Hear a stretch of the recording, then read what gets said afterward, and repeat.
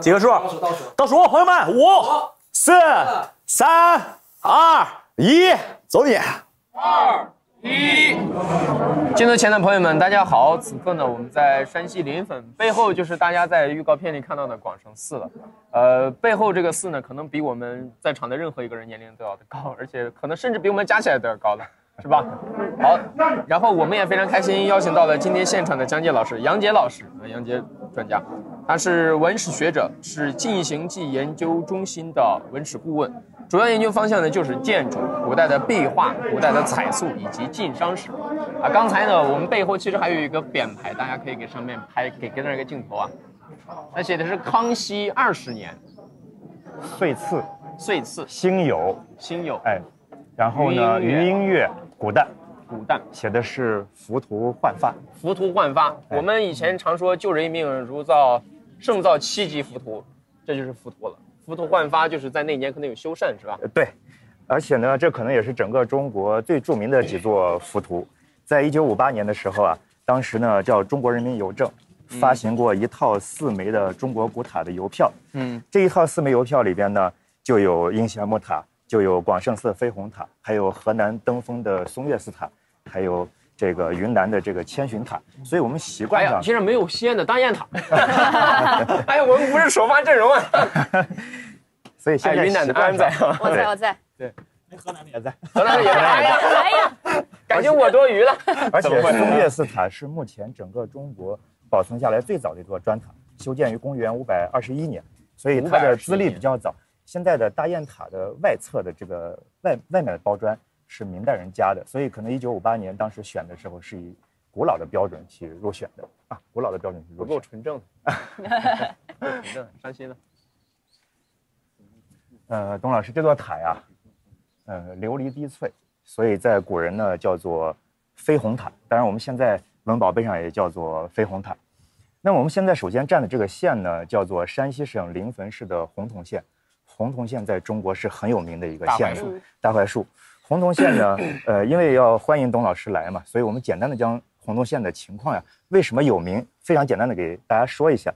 第一个有名呢，是这里曾经是历史上著名的古杨国，嗯，那么杨国后来被晋国所灭，灭了以后，杨国的子孙啊就以杨为姓。后来呢，呃，这个国家没有了以后，这个地方就叫杨县。到隋朝的义宁二年，也就是唐朝建立的第一年，公元六百一十八年的时候，唐之帝王恶隋恶隋之阳性，就是唐朝的帝王呢厌恶隋朝的阳性，所以改阳县为洪洞县。到今天已经一千多年了，这个历史非常的悠久，这是第一个原因。第二个原因，当我们面对这座宝塔的时候，就会想起来洪洞县最著名的一件事情，就是从明朝初年洪武永乐反几代皇帝那么大的社会动员，从洪洞县迁了十八次，一共迁出去一百多万的父老乡亲。嗯后来碧海扬波，迁播海内，今天的中国哪里都有大槐树的子孙。对，呃，你比如像我们家呢，就是标准的大槐树移民。我们在明朝初期的永乐年间呢，从洪洞县啊，迁到了陕西的渭南。哎呦，那咱是老乡。很有缘呀。老乡儿，我迁到什么地方去呢？迁到了渭南的澄县，就哎呀现在的澄澄城县。澄澄城县，肺盆羊肉，哎，水盆羊肉。迁到澄城县以后呢，在一八九三年到一八九五年期间，又因为做生意，从澄县呢、澄城县呢迁到了甘肃庆阳的宁县，哦后来一直定居在那里。没想到今天又回到山西来了。所以人的一辈子呀，就像蒲公英一样，吹到哪里都会发芽，完成了一个闭环，完成一个闭环。哎，带着先辈的那个愿望又回来了。又回来了。您给大家讲讲这个塔，刚才您提到了说它外面这些琉璃，这些琉璃是什么时代的？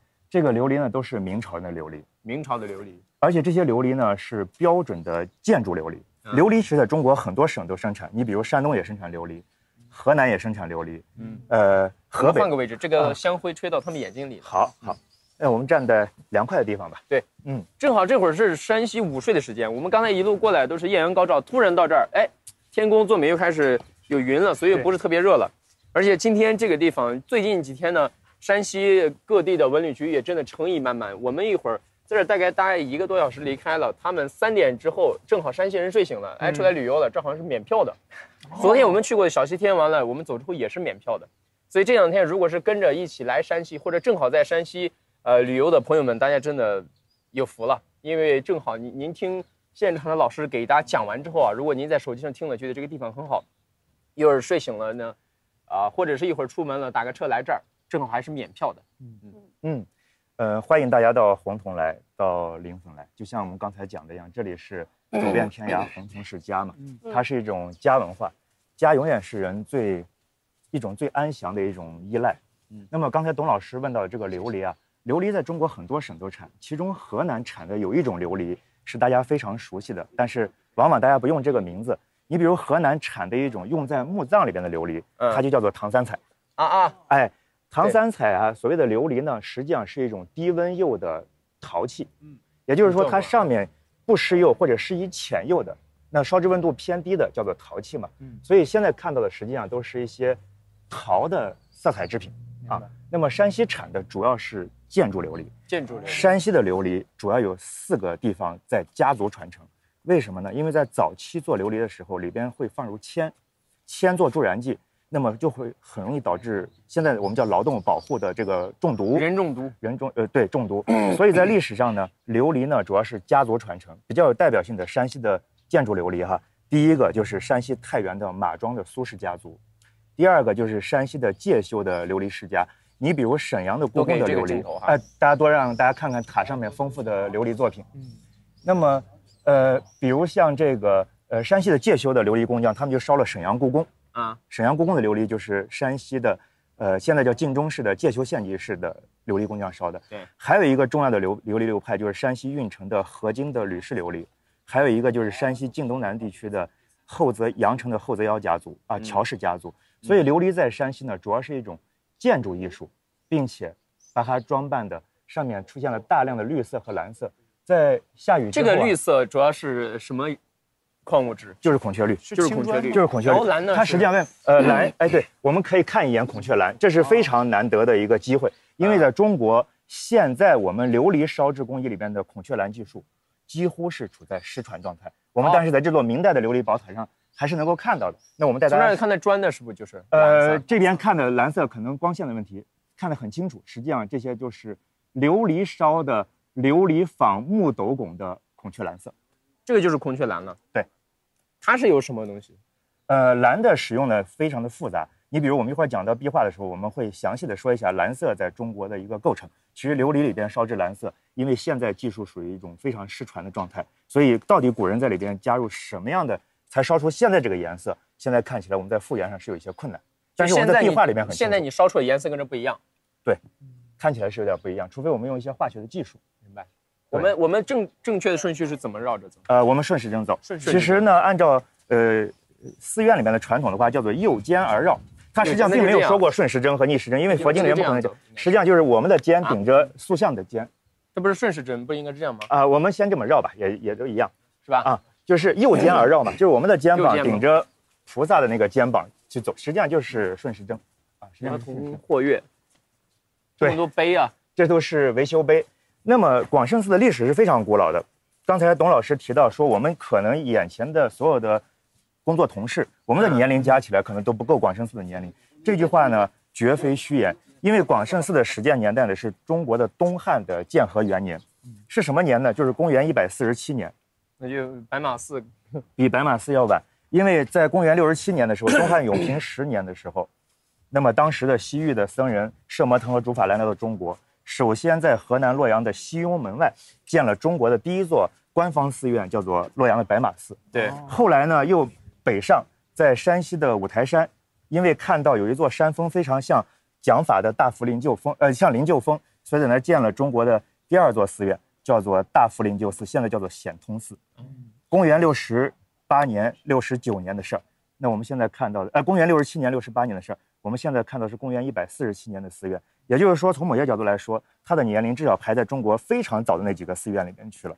所以，它是一九六一年三月四日公布的第一批全国重点文物保护单位。最有资历的之一啊。一九六一年的三月四号，当实际时上，小哥你站这儿，嗯然后用个身拍一下那个风铃的感觉。你看这种太阳常年晒，外面包的这层已经裂开了哈，保护的柱子已经裸露在外，然后这个风铃左右晃荡、晃荡、晃荡、晃荡，他已经见证过太多的东西。这种风铃是什么材质？就是铁的？铁的，就是铁的。这个这里的风铃应该是什么时候加上去的？呃，这里的风铃呢，这个塔的主体已经不是东汉那座塔了。东汉的时候，这个寺院呢叫做巨卢舍寺，也叫做阿育王塔院。根据这个名字来说，它最早可能就是供奉佛祖的真身舍利的，因为它叫阿育王塔这儿。有舍利吗？呃现在看不到。那么很可惜的是在，呃元朝的大德七年，这里发生了一个很大的地震。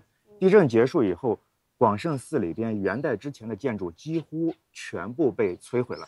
我们现在在广胜寺里边看到的所有的建筑，都是元朝和明朝以及清朝增修的。因为元朝一三所以这个塔主体其实也是。是明朝的，哦，是明朝有一位僧人叫做达连和尚嗯，他化缘来修的。然后在他的继承人的努力下，塔的外面逐渐的挂满了彩色的琉璃，嗯并且在后来的时候又加了一层这个屋檐。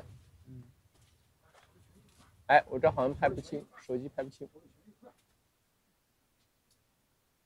其实如果我我应该站在这个角度拍，不知道这个角度是不是能拍得清那个风铃的感觉？你站在这个角度慢慢啊，确实可以。对。上面有很多菩萨在低眉在看着你，嗯，他有低眉慈悲，你自静默无语，沉默好似对话，凝望已然千年了。哎呀，出口成章呀，他在保佑我们呢。他在保佑我们，嗯因为他是我们的祖先修的，我们很骄傲啊，先辈之念，先辈之念。以神力护我。对。加的这个外延呢，你看现在稍微下点雨，但是下雨不可怕，因为下完雨以后，这个琉璃的颜色更加的清脆，就像它的名字一样，叫做绯红。飞。广胜寺的名字实际上就来自于飞回北京的俞敏洪，俞老师。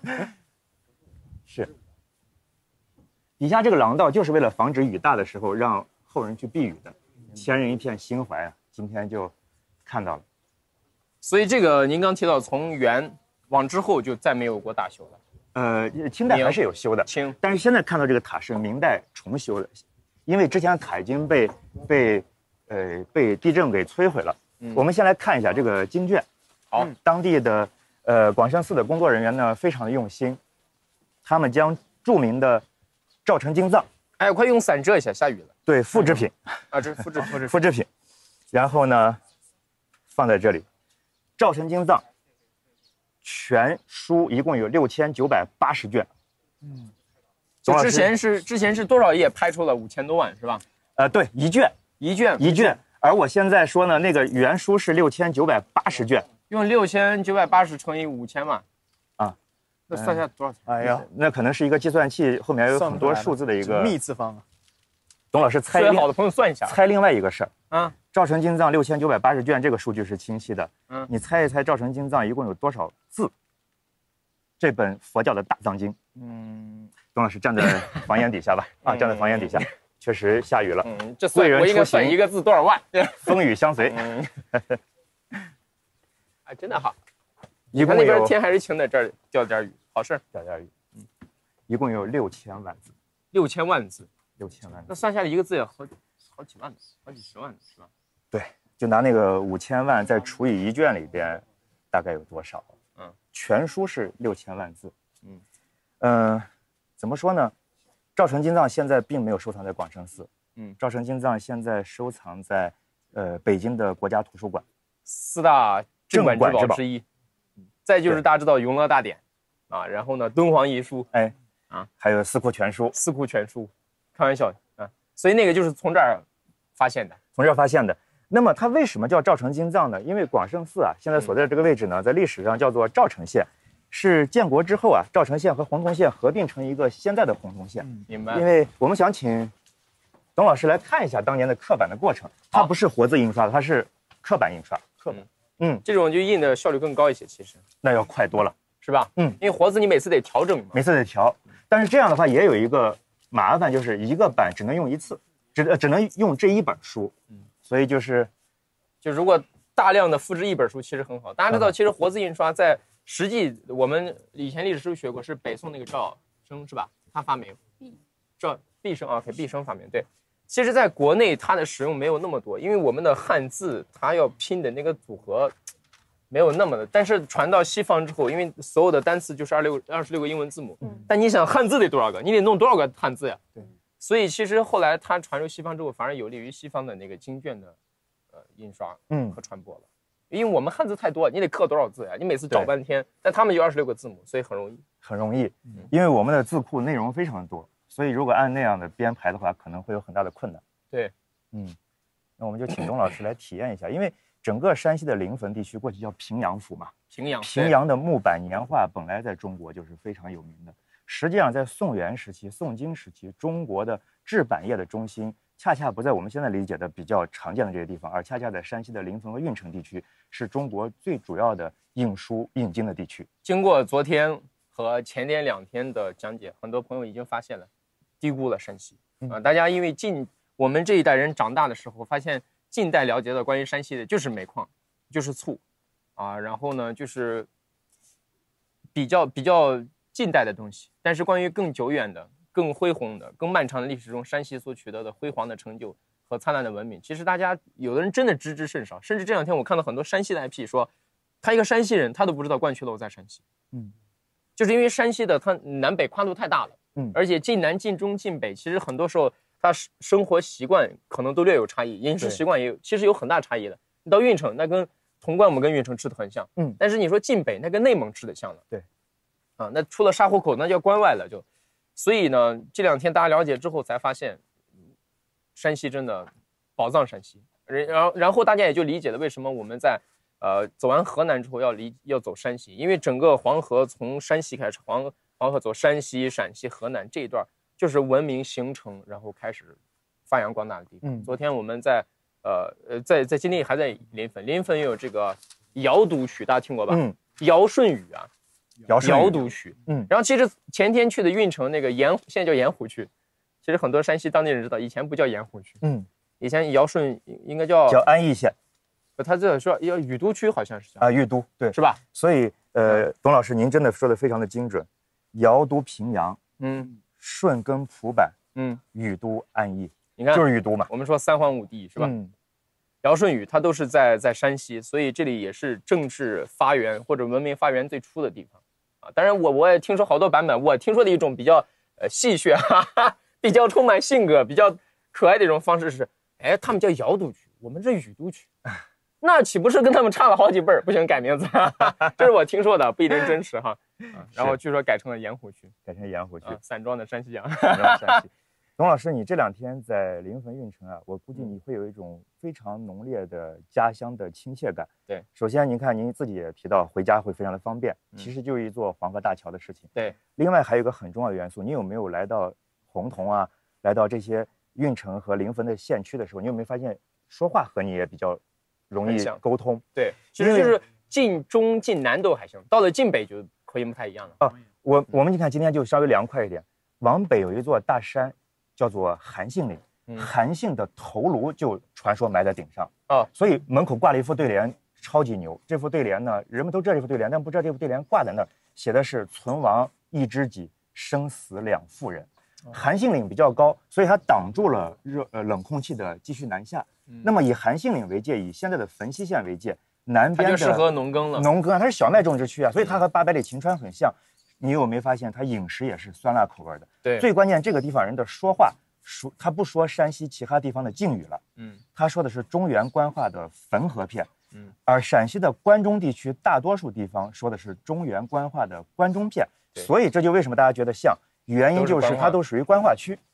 嗯对，再往那边可能它冬天温度太低，它种不了小麦了，因为你出了关外，冬天零下二三十度啊。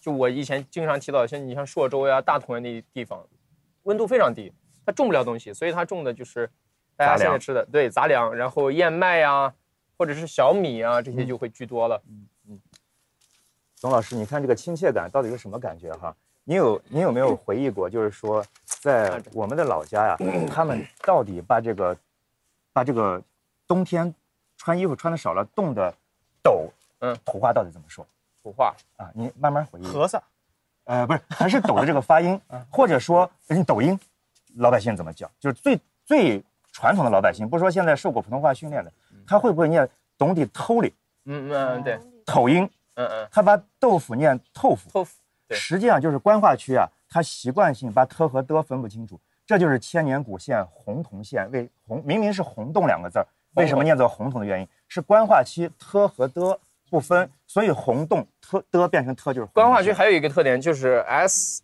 H 跟 F 不分，嗯就是轻度浊化。比如说喝，其实喝水对吧？喝水我们喝肺，喝肺喝和肺喝，肺呃，出去耍夫妻发，就 S H 一般发成了 F 的音。哦，山西有一个著名的酒叫汾酒，山西的很多地方的人念红酒，嗯喝和佛分不清楚，念红酒。对啊，尤其在吕梁的某一些县份里面，他就这样念。呃，如果好了的话，我们让董老师体验一下。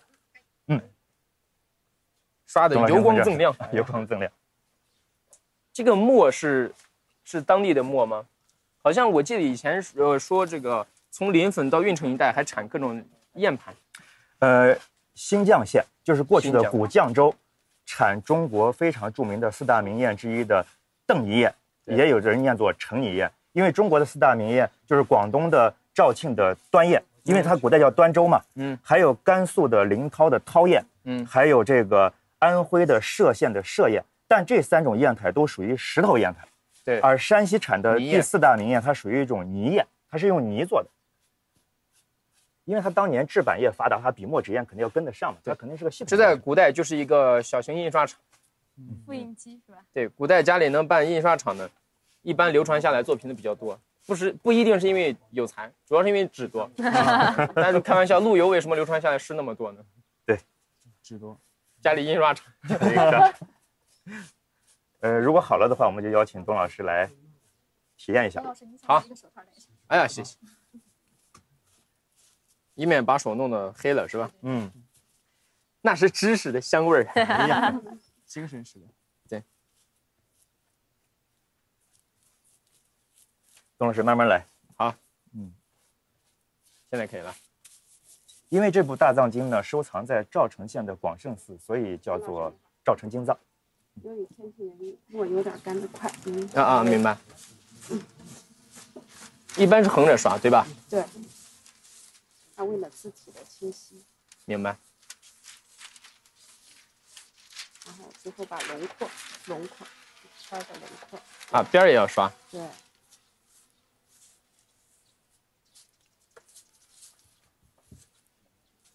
，OK。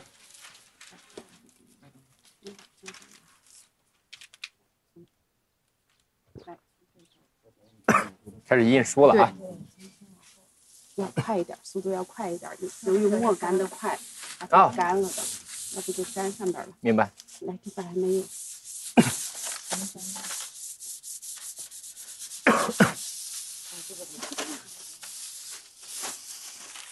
啊，这纸很结实啊！嗯我们看一下成品。哇，啊好清晰我，的作品，哦，很清晰耶。是吧？嗯，董老师印出了第一册的《波罗蜜心经哎呀，董老师》，丢人三二百六十个字。丢 人现眼的在在这儿，没有没有，谢谢你们，谢谢你们。这个印的平常就会在在这里来的游客能能找到吗？可以，可以。明白。谢谢谢谢你们。没事，我拿着，我拿着。我会找个垃圾桶放进去。董老师，你看看这儿，这儿有一位书法家呢，正在写泥金字。嗯，呃，我们看看他写的是什么，是不是字非常好？写的非常好啊。嗯，写的是什么呢？写的是整个赵城经藏里边所有经卷的名字，只写名字就已经写的，这单单才写了九牛一毛。嗯，为什么呢？什么叫做大藏经？就是佛教里边的图书集成，就是整个把它的所有的重要的经卷合在一起，叫做大藏经。这是金代的时候，有一位呃比丘尼叫崔法珍，嗯他断臂求法，他把自己的胳膊嗯打断，嗯然后呢木化金钱，然后呢在今天的山西运城的宝宁寺里边刻出了这部著名的作品，并且由于崔法真呢是广胜寺的住持比丘尼，所以后来就收藏在这里。但是呀、呃，经卷合估啊，后来经历的非常的坎坷，嗯，那么一直传到一九三零年代，那保护在广胜最早的时候，当然是在广胜寺的下寺保存。后来呢，有一位叫范成的和尚发现了它，然后呢，南京的金陵刻经处就派了一位居士叫蒋维新，然后呢来山西来检教这个经卷。蒋维新呢从潼关哎坐船，从我我家坐船，他过来以后就到了山西的风陵渡嘛。嗯，结果当时啊，船出了问题以后，他的眼睛啊埋在了沙子里边，导致他双目出现了很严重的眼疾。但是他虽然身患疾病啊，但是他用过惊人的记忆力和解和这种洞察力，将赵成金藏最早进行了科学的考证，并且公布于世。但是很可惜，一九三七年日寇犯我中华，在一九四二年的时候，日本人是以庙会的理由想登塔，因为当时赵成金藏已经被转移到塔里边去了。那么害怕这个日本人抢夺，所以当谢时好，谢谢你们。多有叨扰。所以当时的八路军的太岳军区就将这批经卷呢转移到什么地方？转移到一个安泽县叫抗议村的地方。嗯，然后在那儿保管了一段时间呢，又保存在绵上县的一个小煤窑里边，因为那个时候条件真的很差。对放在小煤窑里边呢，就出现了一些硬水的现象，因为煤会打穿，会它会有透水嘛，对会有渗水。董老师小心啊，有台阶。去，嗯，你先。后来呢？后来呢，这些经卷呀、就被运到了河北的涉县，嗯，然后呢，再运到了北平图书馆。现在的国家图书馆的专家用了漫长的时间，将它修复的完璧如新。因为国家图书馆有非常好的保管技术，所以广胜寺的三绝，第一绝是飞鸿宝塔，第二绝呢赵成金藏，今天非常完好的保存在我们中国最重要的图书管理机构，嗯，国家图书馆，以供后世子孙观瞻。这都不能说是民族珍宝，这应该说是世界遗产，世界遗产，真的是世界遗产。世界遗产。这个大概造像是什么时候？呃，这也是明朝人塑的。呃，但是呢，这个殿叫弥陀殿，所以正中间塑的这尊像呢，呃，实际上是阿弥陀，阿弥陀。旁边的两尊这个不能拍对吧？啊，这个应该不能拍哈。旁边的两尊菩萨呢就比较有意思了。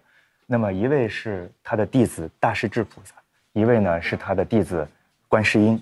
怎么来区分呢？其实也很好区分，因为菩萨头上是戴冠的嘛，对，而中间的主尊头上一般都是罗髻，是肉髻啊，长着罗发。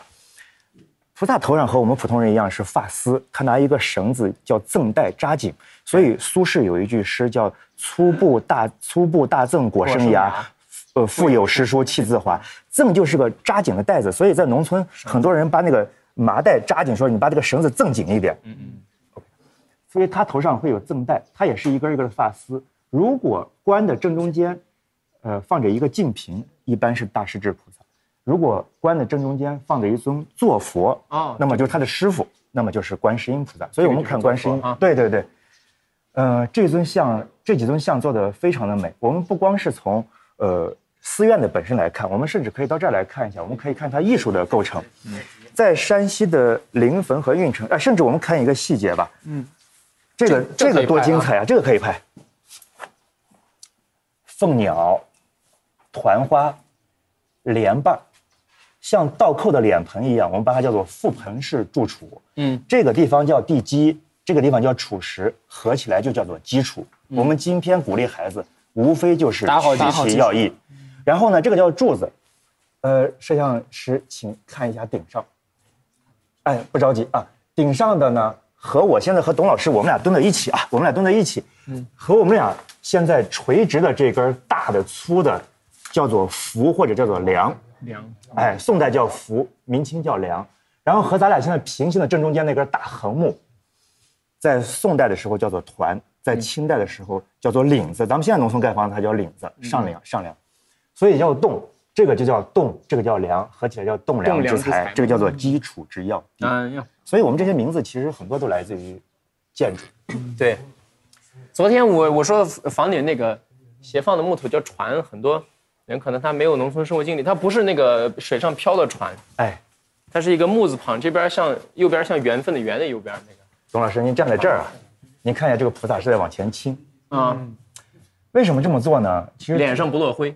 哎，脸上不落灰，并且啊，古人他和我们现在进来不一样，古人进来以后扑通就跪下了，所以所有的像的设计的视角都是以他跪下的人怎么看到的。那么到了明代以后，在山，其实从呃元代就宋元时就形成了，顺着山西的汾河有一个著名的美术流派，就叫做汾河流派。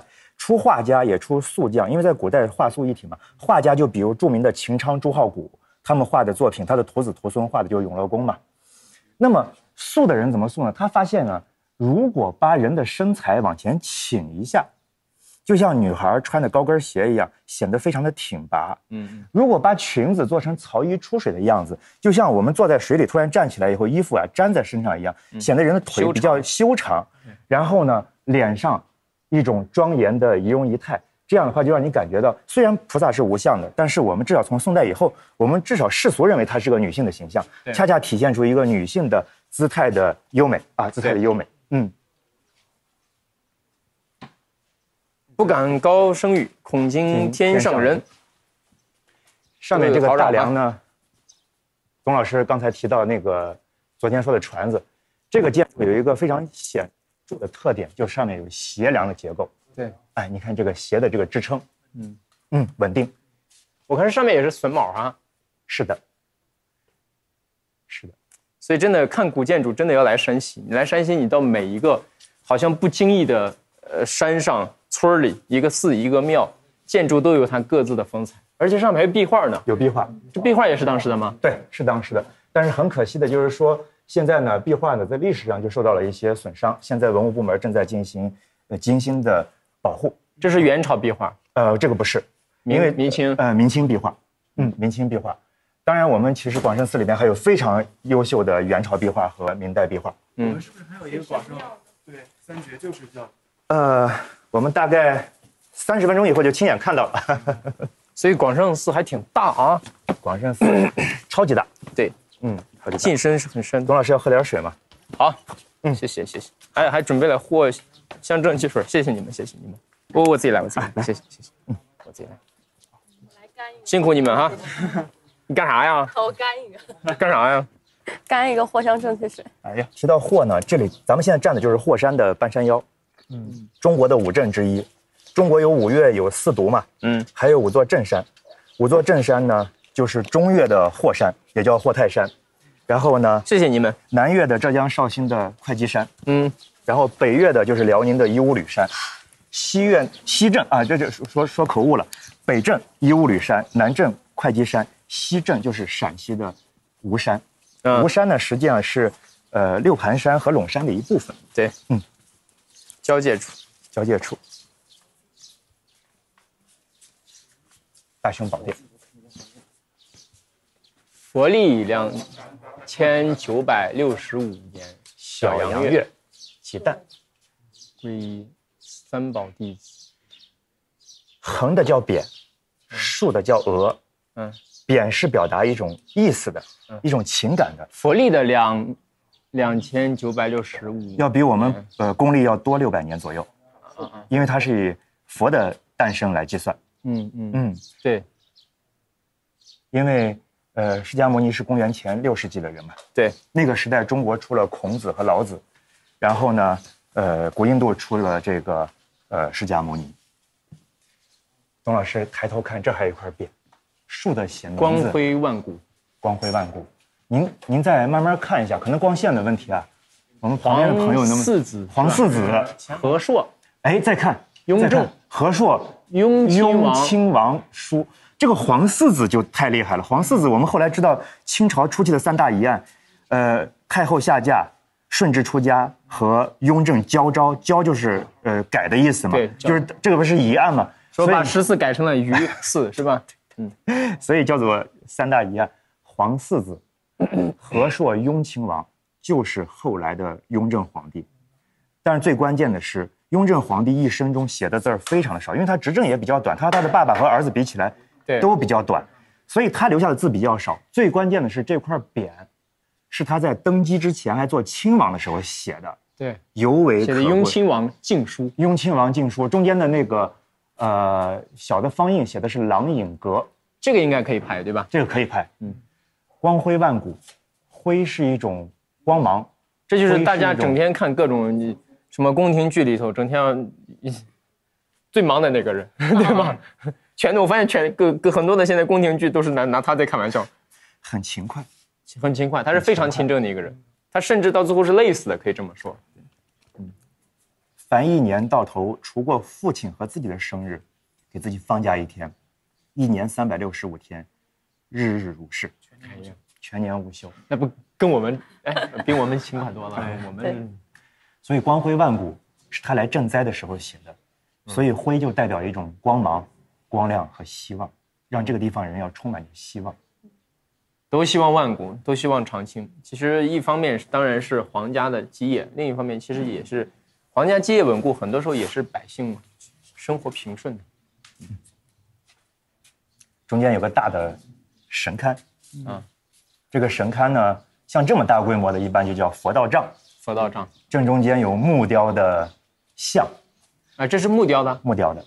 哦，最关键的是，更了不起的是，这些排列组合一看就是唐代以后的作品。怎么能看出来的呢？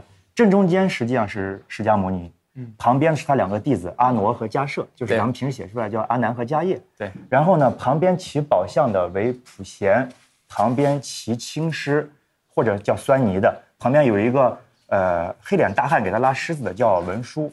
文殊。中间是释迦，一边文殊一边普贤，我们将这种组合叫做华严三圣，它是华严信仰，它是中国在唐代的时候由五台山的高僧澄观和尚和居士李通玄发明出来的，所以这是中国佛教所独有的，并且一定晚于唐朝，因为这是中国唐朝人才发明出来的。对，今天已经成为非常重要的一种，呃，寺院里边的一种供奉，叫做华严三圣。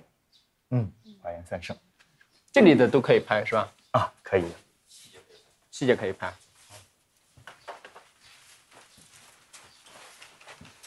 旁边是铸铁罗汉。铸铁那就相对晚期了。嗯，也是也是明代的，一点九个，二九一十八。那现在您刚提到这个木木龛，它有有具体的时间吗？嗯，明清的，明清的明清的，我们一般都叫晚期的作品。嗯嗯，呃，但是你看古人呢，铸铁的能力是有限的，对，呃，它是铸一层，它是分段铸的，分段铸好以后呢，他拿这个焊把它焊起来的。比较讲究的皇家的，他就把这个焊缝呢就给磨平了。对，不讲究的呢就留到这儿了，所以这个就还是有这个焊缝啊，有这个焊缝，有痕迹在。嗯，这个这个墙上这些灰就是后来的香火，对吧？其实这香火的烟都是壁画，很可惜的是现在看不到了。啊，以前都有壁画呢，以前有壁画。董老师，你看脚下这块石头，台阶，你看给这个镜头我，们拿手就可以摸一下。这是如玉石一般了都。这实际上就是咱们当地的青石嘛。对，多少代善男信女，多少代有所求有所祈报的人，怀揣着香烛和香火来到这里。他们有可能是心事重重嗯，的来，然后一身轻快的走。就拿布鞋呀、千层底，那个底子比我们现在底子要软很多。对，凡千百年来都磨成这样，光亮如镜。而且山西这样一个有有有山源的地方，它可能都不一有的是布鞋，有的是达官贵人那种厚底儿鞋，甚至还有草鞋，也有可能是光脚。光脚，总之，这个上面有着太多人的美好的愿望了，嗯所以变得光滑，很光滑能。映照出，甚至能映照出我们的样子了都。嗯广深寺很大呀，一进一进的院子。我们中国的大型的官方建筑群啊，一般都有两个设计原则，一个叫做以中轴线为美，形成左右对称的关系。所以正中间是天中天殿，一边就是呃地藏殿，一边就是观音殿，这叫做对称关系。第二个呢，叫做以门为分割单位，形成一进一进的递进关系。你看我们是不是通过一个门一个门的在进？所以往前就叫进嘛，对，前进，往两边走叫做跨，所以叫东跨院和西跨院。当然，我们无事不登三宝殿，我们先看看主殿。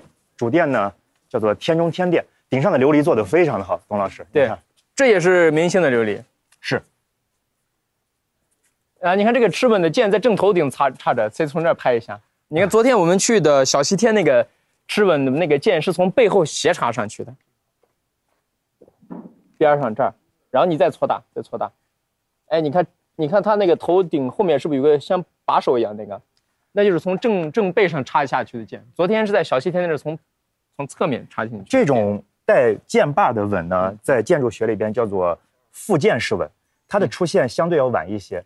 它是传说江西人的守护神，就是那个南昌的江西，对有一位道长叫许逊，许真君呢，仙人许逊哎，许逊嘛，他路过这儿的时候，发现螭吻呢在顶上呢不好好待，为什么呢？他待在上面确实也没什么事儿，啊所以北京人骂人说你闲的跟五鸡六兽似的。对，所以说呢，东他北也这么说东北也这么说，所以他害怕他跑了，他拔出宝剑呢，扔上去扎在他脊背上，所以顶上去这种吻呢是比较晚的吻，叫做许逊背剑吻对，啊，许逊背剑吻。早期是没有这个的。早期呢是长得像尾巴一样，所以我们把它叫做螭尾。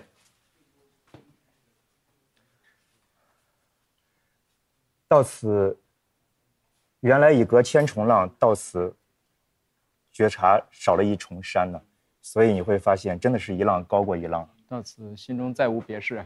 嗯，上面是大清乾隆，哎呦，这都是清朝，大鼎都是，你看，写的清清楚楚，大清乾隆年间。每一次维修都留下了他的记录。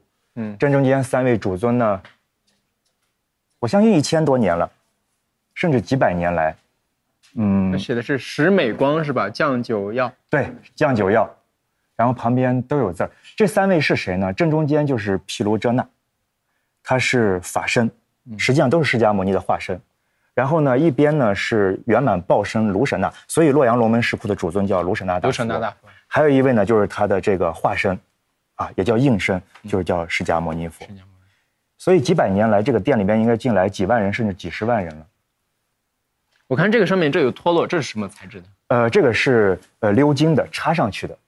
鎏金。金属的，这个呢叫做千佛绕毗卢嘛，可能以前的时候有脱落的，或者有善男信女把它请回去的，后来为了防止这种情况，就加了保护明白。这个身上金光闪闪，这也是鎏金，鎏金，鎏金就是金箔、呃金箔或者金粉都有可能。金箔、金粉。嗯，就看精细的地方一般用金箔，稍微粗大点的地方就用金粉。嗯我们昨天在小西天看那个，它悬像上面全都是非常薄的那个金箔。金箔的延展性非常大，对所以说听起来很贵，但是实际上它可以做很多，嗯嗯，但是它很费工。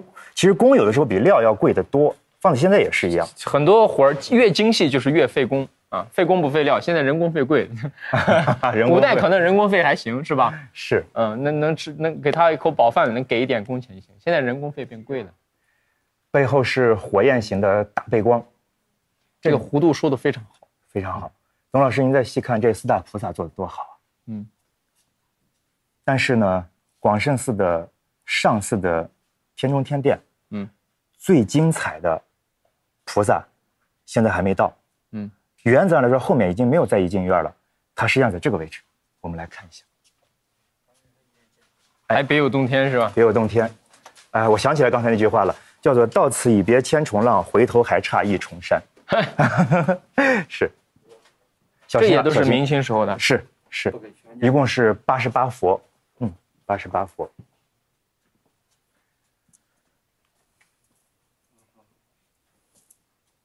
董老师，请你尽览这一墙的丹青，这是明代人画的。嗯，广胜寺因为元朝大德七年的大地震的问题，所以元朝之前的壁画呀这些很难看到。嗯，这画的什么呢？画的正中间是释迦牟尼，十二位他的追随者，十二位圆觉菩萨，流出了一切清净、圆融和波罗蜜的醒悟者、觉悟者，去追随他的对，过程。你们也可以拍旁边，你看正常的太阳光可能折射到地面，折射进来，那边也看得清晰可见。现在光非常的好。对，嗯，董老师，你看这些菩萨呢，啊、画的时候啊，甚至有些还画有胡须，因为菩萨本身是无相的。到宋代以后，我们习惯上把它根据汉民族的理解画成了女性的造型。呃，如果我们看这些线条，我们可以细看一下，这些线条呢和敦煌壁画的画法是完全不一样的。嗯，我们中国呢，在它线条中间是有一段一段的，是吧？啊、对，它是有段的，并且它用了很多种画法，比如高古游丝描啊、折炉描啊、钉头鼠尾描啊。你比如他画手一般都用高古游丝描，然后呢，虚出虚入，线条中间的宽度是一样的，嗯，并且在所有的转笔的时候都用圆笔而不用硬折笔，对，所以画出来手当然就比较灵动。嗯当他画头发的时候，全用的是铁线描，画的是一种毛根生发的感觉。它越接近皮肤的地方勾得越细，越远离皮肤的时候勾得越粗放，这样远远看去就感觉是真的从肉里边长出来。就像这幅壁画一样，我们在宋代之后，我们文人的纸本绢本画几乎就放弃了颜色和线条嗯啊嗯。到清代的时候，尤其你看大家画的都是泼墨大山水，对。但是在中国的民间的壁画和民间绘画里面，大家一直没有使依然还在使用色彩。你看这种线条，我们举个例子来说，你看这种线条，它非常的严整，它是先涂中间，然后用重线来压两边。敦煌壁画它早期的画法呢是先画两边的线条，然后中间染色色，所以你看有些地方染出去了，它也不收笔，反而形成一种饱满的晕染感。对，这幅壁画我们可以看到，它几乎都用的是青，就是绿和红两种颜色，是因为在明代画这些壁画的时候，我们中国在传统壁画里面使用蓝色还比较困难。嗯因为早期我们虽然有蓝色，但是非常贵啊，蓝色得从阿富汗呀、俄罗斯进口青金石，基本上和黄金是等价的，然后磨成粉直接蘸着画，成本太高，所以后来中国人就用什么来提炼蓝色呢？用绿色来不断的晕染形成蓝色，所以我们说青出于蓝而胜于蓝。我们又从柿子坝，就是咱们吃的那个柿子的那个柿蒂嗯里边去提炼染蓝色的东西，一直到了十八世纪的时候，从德国呃德国柏林附近有一个呃化学的发现，叫做普鲁士蓝。所以，因为这是明代的壁画，十八世纪大概到清朝的乾隆年间了。对所以我们看到乾隆之后的很多壁画都非常的鲜艳，有蓝色。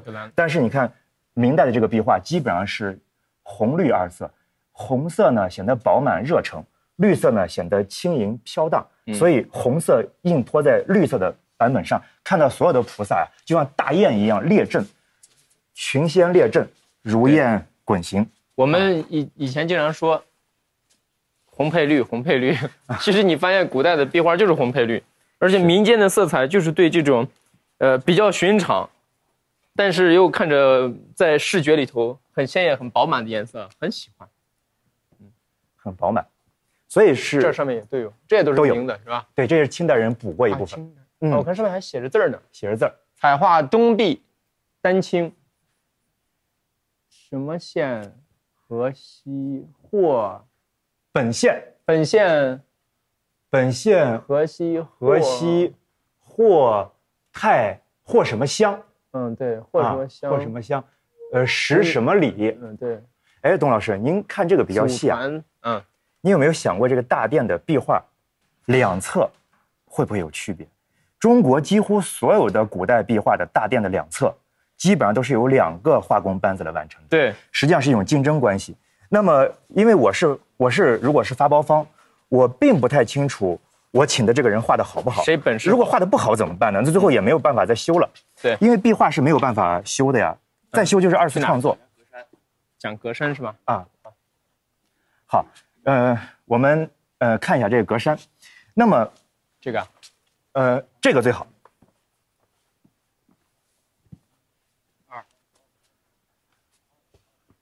保留下来的古物，充满着几何的纷繁。你看这个古人做的这种，这叫格扇门嘛。嗯，以前我们最早的时候都用的是板门，后来用这种格扇门，透光，哎，透光好，并且更加的灵动啊。上面这块就叫窗棂子，底下这块叫做涨水板或者裙板，中间这块的名字非常的怪，叫绦环板。嗯绦就是万条垂下绿丝绦的绿丝绦嗯绦环板，绦环板的宽度几乎就是两个两个挺或者叫抹条子的宽度。那这个为什么好看呢？它全部是木头拼起来的，三焦六腕。你看，这是一个小三角形，这是一个大三角形，这是一个再大的三角形，这是一个再大的三角形。这当然在几何上是个很容易的事情，但是把几何上的图形最后再画环为画画繁为丰富的木头的拼搭，这又是一个再创作的过程。而且两边还不一样。两边还不一样。你看这个董老师，它是一个圆形，它再大点又是一个圆形，它甚至可以变成一个六边形，可以变成一个菱形。嗯，古代的工匠下午吃完那碗面的时候，蹲在这儿或者坐在这儿刻这个的时候，他内心一定荡漾着美的感觉。实用性和艺术性都有。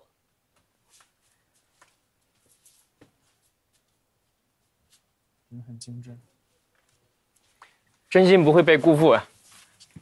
几百年后，有后人趴在门旁边，鸦雀无声的看了很久，嗯，驻足停留，流连忘返，心中念念有词。董老师，我们来这个地藏殿里面再看一下。这儿平常香火旺吗？呃，现在它是呃文物管理机构。明白。嗯。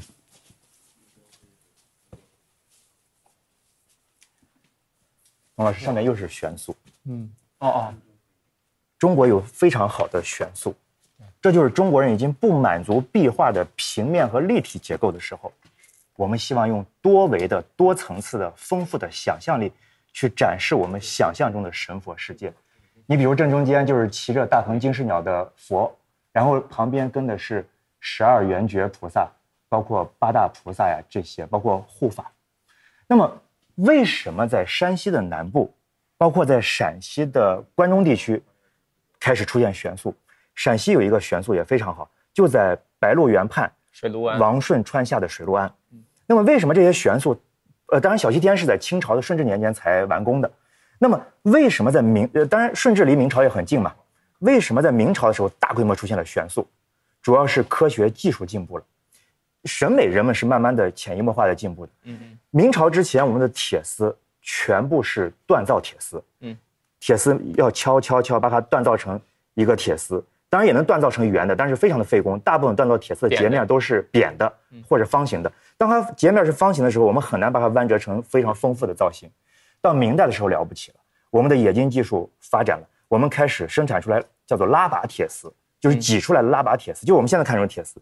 由于它断面是圆的，所以它可以弯折成非常丰富的头光、非常丰富的声光，甚至菩萨手里的那臂串、菩萨身上的长裙、菩萨身上的呃璎珞，甚至上面的衣袂飘飘的飘带，可以把它再用幻化着泥土的芬芳做出如此风帆的造型，给我们展示一个一个漫天神佛的感觉，了不起。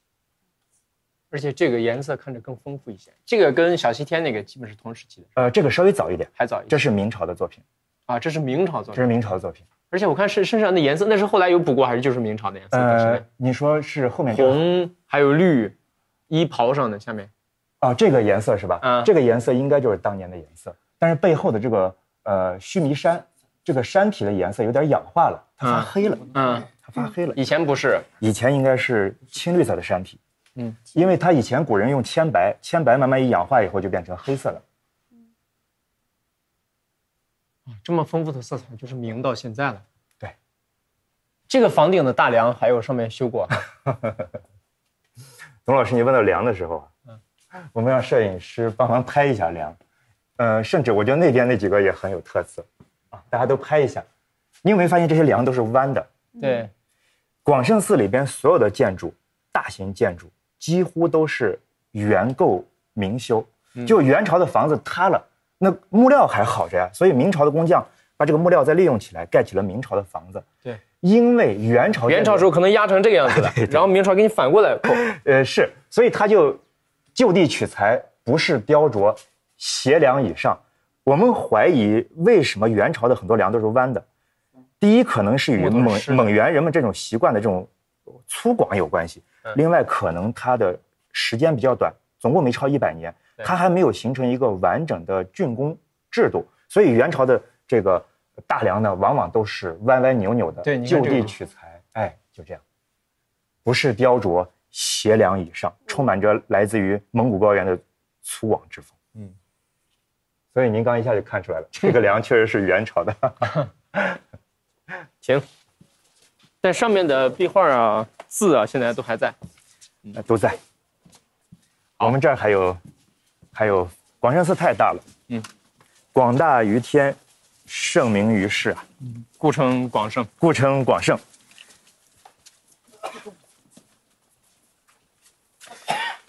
据县志记载，县的县洪洞县呢有洪崖和古洞，嗯，所以叫做洪洞县。又因为发音的原因呢，念成红铜。念成红铜，并且红铜啊是汾河流经七百二十一公里，发源于山西忻州，在山西的万荣的河口庙前村汇入黄河，成为黄河的第二大支流。在此之前，汾河流经灵霍峡谷出来的第一站，河水漫散、比较平缓、发出洞洞的光辉的地方，就是红铜。所以红就是大的意思嘛。对。啊，这个壁画也很精彩。我们今天要看到很多幅的壁画，这是一幅明代的壁画。这幅明代的壁画呢，画的实际上是出行图和回銮图。你不往后退了哈，你再退就退到壁画上。对，这个红色用的很鲜艳，嗯而且没有什么脱落，所以矿物质染料就有这种优点啊。优点不脱色因为它本来就是它的原始色嘛。对而且董老师，你刚刚有没有发现琉璃几乎也不脱色？对，因为它本来就是户外的用品，嗯，它本来就是在顶上风吹风霜雨雪轻的。所以像这种金属的，哎呦，金属的矿物质的燃料，或者是像像鎏金这种工艺，它其实对光还有对水就没有那么敏感。就你呃上面光照进来，其实它无所谓的，所以因此能保存下来。它但凡是敏感的，都留存不到现在了。是，嗯，它实际上呃，只要呃符合它的光照的幅度，就像在兵马俑里头，大家说兵马俑的颜色脱落，以为是，呃，它对空气啊什么氧化，其实不是，矿怎么会对空气氧化呢？嗯矿多么稳定，那是因为那个染料下面刷那层胶时间长给掉了，生漆给掉了。它可能是一些附着品出问题了。嗯，其实染料本身不害怕那些。董老师看这个壁画呀、画的好和不好有一个很简单的方法，嗯，就是你追它这根线条，它这不是有个飘带吗？对，我们现在也穿衣服上可能也有些带子，你追这根线条，只要这个线条的线条的折痕是真实的、客观的，那一定是个高手。嗯那么可能刚学的人画的这个线条是乱的，就是你追下这根线条以后追不到头了，他就不知道去哪儿了。昨天在小西天，我明显我就发现，哎，我们以进门的方向，我发现右手边的比左手边的更逼真，嗯，而且人的表情更更自然、更放松。然后我就好奇，我说，哎，这边咋不一样？他说这边大家现在都觉得可能是徒弟画的，嗯，就明显人就表情偏呆板，嗯，然后呢，脸脸部的比例啊，还有那个肌肉的线条，就显得哎，好像人有些凝重。有些凝重。对，右手边他就很灵活，那小孩，嗯。左手边那小孩就是感觉不是特别的清楚。哦，两边呢会有一些艺术差别，也是古代的一种招标机制。对，您刚提的，其实，在欧洲史上，大家如果看说什么什么呃达芬奇啊，谁谁，他在那些时代里头，经常给教堂画壁画，也是一人一面墙。一人一面墙，嗯，你画的好，我给你结百分之一百二的工钱；画的不好的这边给你结百分之八十的工钱。对于我来说，花的钱一样的，我让你俩开始努力的去竞争。对，并且这次得到一百二工钱的最优秀的团队，可以进入下一个大殿的招标流程，这样确保最后的大雄宝殿是由最好的工匠来完成。嗯，就是现场现场竞争的机制。现场竞争。董老师再看，这还有一尊鹦鹉的坐像，嗯，它是韦陀。我们很少在寺院里面见到韦陀的坐像，嗯大部分其实都是站着的。对，这是一尊明代的韦陀将军。你像在山西见到的韦陀的坐像还有，你比如佛光寺也有一尊明代的韦陀，他是坐着的。呃，我们也在想，呃，其实现在从健康的角度来说，大肚子并不是一个好看的造型，但是中国古代做这种力士啊、金刚啊、天王的时候，孔武有力。呃，孔武有力。他为什么要做成大肚子造型呢？是因为他们一般在明代以后都是坐姿，坐下的时候，你发现他们根本没有屁股坐实。原则来说，我们在沙发上如果倒着这么坐的话，显得人就没有精神。嗯所以你看他们坐的时候，实际上都是屁股担了很少的一部分，往前腰往前这么挺着。对，然后呢，他又是个大肚子，然后这个时候人的习惯性的视线就会从眉间到肚脐，嗯，拉一根切线下去。由于他又是往前倾着，所以显得他非常的孔武有力。对这是属于我们中国人的非常了不起的审美，因为它是降魔护法。嗯，它就要起到震慑作用的。它如果看起来特别瘦弱无力的话，你就不害怕它了。对，嗯震慑群魔。背后也有壁画，但这个房顶应该是有过漏水，所以那个壁画嗯受到了影响，有的被冲刷掉了哈。对，后面画了很多的建筑的造型。这写的是“魔有千处之啥魔有千千处处之者者一，者一，魔有千处者魔有千处之者一，光线的问题，这对正好。应该是之者一。这写的是什么什么云四啥私立四四立湖其三，其啊其三，对吧？嗯对，上面是啥云？分不太清楚。看不清，有点剥落了。嗯所以山西真的是宝藏山西啊！大家发现随便你来一个地方，正门，正门也是文物。我跟你讲，这虽然说后后人，你看上面有补的铁是吧？嗯，补的这个，但是这个门板应该是时间很久。你听这个声音，啊！而且你看这开关门多少次，木板已经把石头磨出了痕迹，发现没？这里头你你把摄像机平低一点，你发现边上高，对你把它弄得跟它一样高，你发现这个不是边上高，里头低，发现没？就说明这个木头呢，因为它长期这个转的时间，这个往会往下坠，然后里头就长，边上磨的严重，磨的很快里面了，所以石头都磨不平了。你想木头能把石头磨不平啊？多少时间？处处都是时光雕琢过的痕迹啊！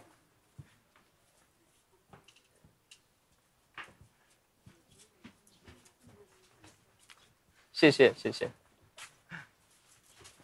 这个树也有些年岁了，哦，这是唐代的，唐朝的树啊 关键这俩树还闹别扭了，啊，一个往这边扭，一个往那边扭。这个原则来说不太符合逻辑啊。如果光照的原因的话，它应该往一个方向扭；对，如果风向的原因的话，它也应该往一个方向扭。这有没有可能是人为的？当年把它往往开拉伸过？呃，因为历史并没有留给我们太多的文字和照片，所以当年到底发生了什么，其实也没有人太多人知道。但是放在今天，就是一个非常奇妙的景观，左旋和右旋。树，诶，但这样确实，他俩直起彼此之间不不争了哈，不争光，不争水。唐朝的树哎，唐朝的树，柏树。所以松柏延年呢，在他面前，我们都是都不叫小孩子，都是 baby 婴儿小 baby，小 baby。这上面有没有掉在地上的啥东西？捡一个，你看它上面结的这个这个籽儿，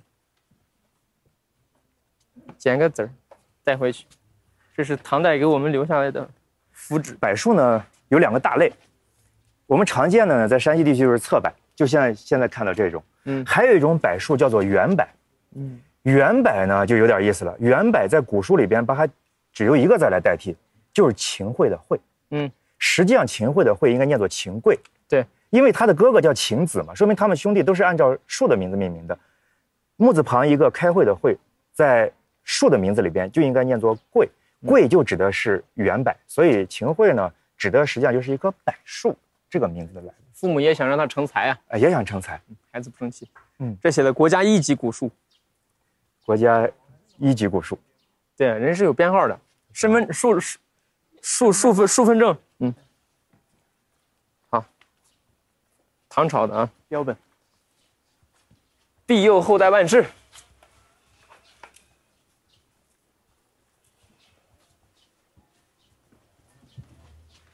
董老师在上次最后走过这塔的时候，有没有感觉到一片清凉啊？对，清凉世界。山顶上风很大，其实这座塔一共有四十七点三一米高，十三层是吧？呃，对，八从这儿十三层，给再给塔一个再给塔一个造型。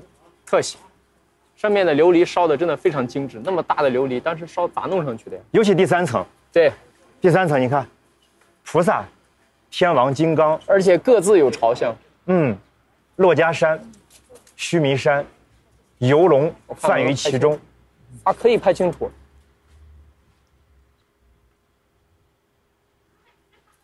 二零一八年的时候，它被认证为世界纪录，世界上最高的一座通体多彩琉璃宝塔，有四十多，四十七点三一米高。米嗯，这是中国目前保存下来最高的一座可以攀登的琉璃宝塔。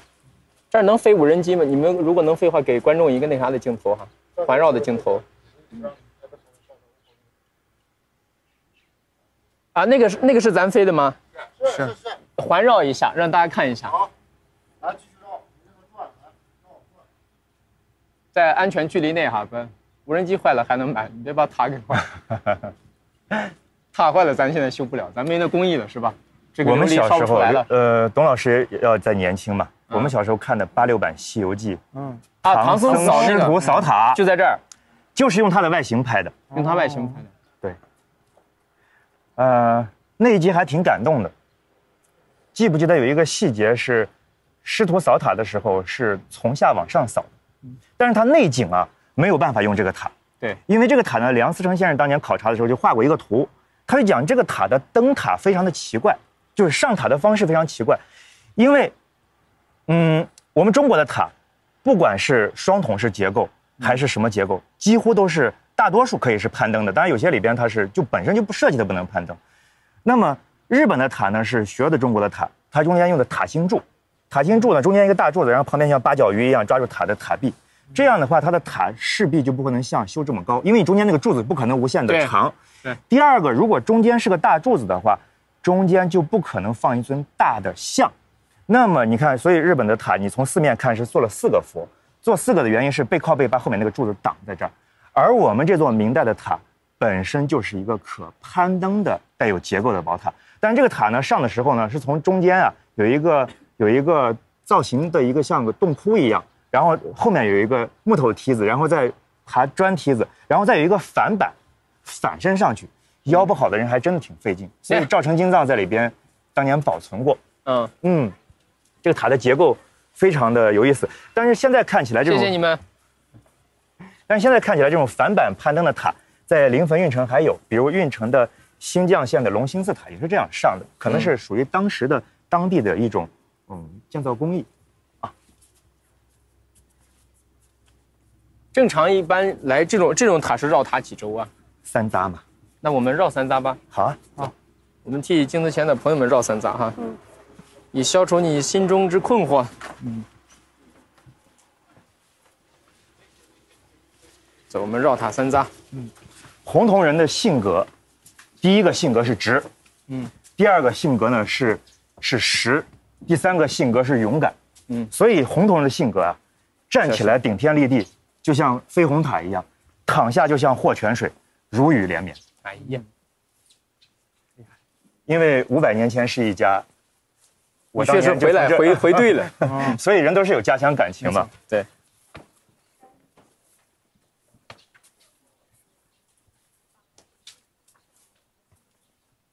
所以如果直播间的更多的朋友，如果再来广胜寺游玩的时候，甚至可以进到塔里边转一层转一圈，在里边平常这个里头是能进去啊。可以进去，呃，里边呢，呃，有文物工作者在九几年的时候用毛笔画出来的叫做《浮屠大观》，嗯就画出来全中国所有最著名的宝塔，嗯，啊，还是很有意思。九几年只能拿笔画嘛，对，这个树应该也也都有很长时间了。老了，山中老树多嘛，对，底下就是霍山，中国的中镇。嗯飞鸿塔世界认证记录，啊，对世，界二零一八年现存最完整、最古老的琉璃塔。塔身以青砖砌成，总高四十七点三一米，平面呈八角形，共计十三层。共计十三层，好，我们绕塔三匝哈。绕塔三匝。当年拍这个扫塔的时候啊，有一个细节，他拍的唐僧师徒啊，是从下往上扫的，从下往上扫的。嗯，这就引发了一个哲学里边的讨论：为什么师徒是往上扫的？嗯，原则上来说，往上扫的话，越扫越扫不干净嘛。对，因为脚又踩了。脚又踩了，所以这就是应对的实实际上他们的一个哲学的考虑。嗯呃，第一个呢叫做起点低，我们每一个人都应该谦恭，嗯从下慢慢往上，这也符合一个人的发展的规律。嗯起点低。第二个呢叫做当下净，嗯你扫每一层的时候，当下它是干净的。嗯，第三个呢叫做回头脏，我们今天即使做到百分之百的努力，也有遗憾呢，也有遗憾呢，遗憾常相随啊。总结的很。最后一个呢叫做平常道，嗯，我们终究是很难去解决很多问题的，但是我们这一代人要做到我们这一代人的贡献和努力。问心无愧就行，哪有十全十美？对，无人机在飞，你们能把那个拍的视频保留下来，一会儿发到账号是什么？就是转三匝，这个这按照这个方向转三匝可以吗？安排为他转三圈，对，然后这个视频一会儿发咱账号能发不？可以。也不要用呃录屏的，拍个清楚的，就以咱现在这个角度绕着塔，然后无人机是相对远一点，位置低一点，啊，远一点低一点，然后能拍到塔上面的全景，绕三匝你发账号上。嗯，我们替一些来不了的朋友，对，许个愿吧。董老师，你说许愿，你看这个船子头上正好有有文字，这个很不容易啊，它是烧好以后的琉璃又又钉到上面去的，，对对对，哎，钉到上上面去的。船头上。他用这个，其实弄着琉璃瓦也有一个优点，因为农村生活的孩子都会发现，小时候那个木木头船，最后有那种风，土风，他就把那块儿遮进去了，对它时间长，甚至可以把那刨个窟窿，然后把那刨成一包扎了，最后它就在里头要产卵，在里头弄窝，就是大概这么大。我们把那叫葫，我们那儿土话叫葫芦包，葫芦包，我不知道你们把那叫啥，呃，差不多也叫这个。是吧？嗯，它是腰是黄色的，肚子是黑色的，啊很大，而且它蛰人特别疼，啊所以这个其实就起到了保护的作用。正好把外面保护的完完整整的。对，风雨啊，还有这些蜂虫的侵袭。葫芦包是不是一种像马蜂一样的东西？对，但马蜂腰细些，那个更马蜂细腰粗一些马蜂嘛。对，葫芦包，嗯，然后呢，上面一层还有字儿，嗯，就是您刚刚念的底下这一层嘛，对。上面你看还有一行字儿，这些字儿不是有多达难认，关键是不知道该怎么断。嗯，从哪个字儿开始呢？它是，它实际上写的是悉达多波达腊，从西字开始。啊悉达多波达腊，多悉达多波达波腊，出自于《楞严经》，《嗯，楞严经》。悉达多波达拉。哎，所以飞鸿塔的细节很了不起。董老师，我再拉你看一个细节，我们再继续慢慢的转。你看这儿有一个悉达多波达拉兵甲，有一个神将，我觉得这个景照出来非常的漂亮。你看这一尊，哦尤其背后衬托着这个，呃，前面这个小阁楼，景非常的漂亮，就是这一尊。我们把它在建筑上一般叫做兵甲，在民俗里边一般叫做四短人，就是四个短剑人。为什么把它放在顶上呢？传说它就是中国，这当然是个传说啊。认为中国历史上著名的韩信、罗成、呃周瑜和子都。嗯，周瑜这个人呢是气短，对，哎，所以寄生瑜何生亮。所以三气周瑜气死了，短短命。然后呢，罗成呢是命短，据说他娶了五百个老婆，哎，长在一个木楼上，然后生活在一个木楼上。后来点火那不打架，他一吵架以后点火把木楼给烧了，把老婆们全是烧死了。所以这种坏人命短，所以再放在顶上。还传说呢，有一个人叫做呃呃韩信，韩信这个人呢谋短，嗯，成也萧何，败败也也萧何萧何。月下追韩信，拉回去说：“你跟着老板继续干吧。”他没有那个意思。结果回去以后，被吕后在未未央宫里面拿菜刀给砸死了剁死了。嗯所以呃生生死一知己，存亡两妇人嘛。当年饿得吃不起饭的时候，他陪你，他陪你东山再起，然后呢，事情干成了，你把人害死了。是啊，嗯，所以把他又放顶上去了。子都呢，传说是春秋第一美男子，到底有多美也没见过照片。但是他心短，他和别人赛马的时候，他是赛不过，所以他从马肚子底下拿剑射人家马腿，所以把这四个呃不太好的人放在顶上，告诉人们风物长宜放眼量，牢骚太盛防肠断。人登高远望，必然要开阔胸襟。实际上，中国的这些都是有教育意义的。风物长宜放眼量啊，放眼量，嗯，大气一些，大气一些。别纠结。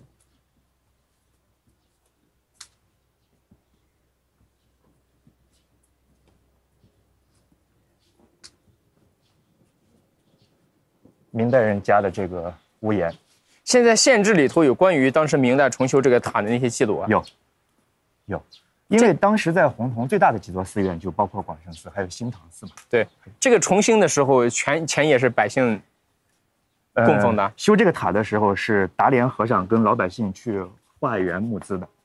啊就你刚刚说断臂的，呃，不是断臂的是金代的那个名女崔法珍嗯，啊，所以他当时画的钱呢做的赵成金藏，明朝的达连和尚呢又花的钱呢建的这座宝塔。琉璃很贵，当时能有这么多琉璃，把这么高的塔修起来，能化缘而来，说明山西真的是一个被福佑之地啊，对吧？大家都是很虔诚，都愿意，要不然你能能化缘来这么多？嗯，山水有清音啊。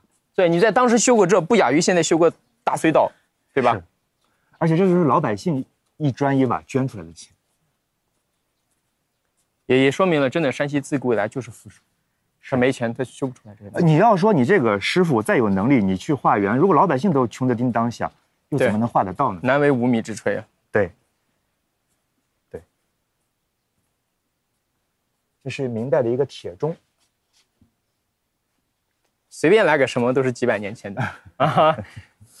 呃，当年呢，呃，冰心嗯。去大同去云冈石窟的时候，他看到顶上有一个破败的三间窑洞，嗯，他就特别好奇，他进去以后看里面放了一块铁钟，嗯。他说钟上原来铸着明朝崇祯年的字，看来国祚已改，岁月也已经很久了。对，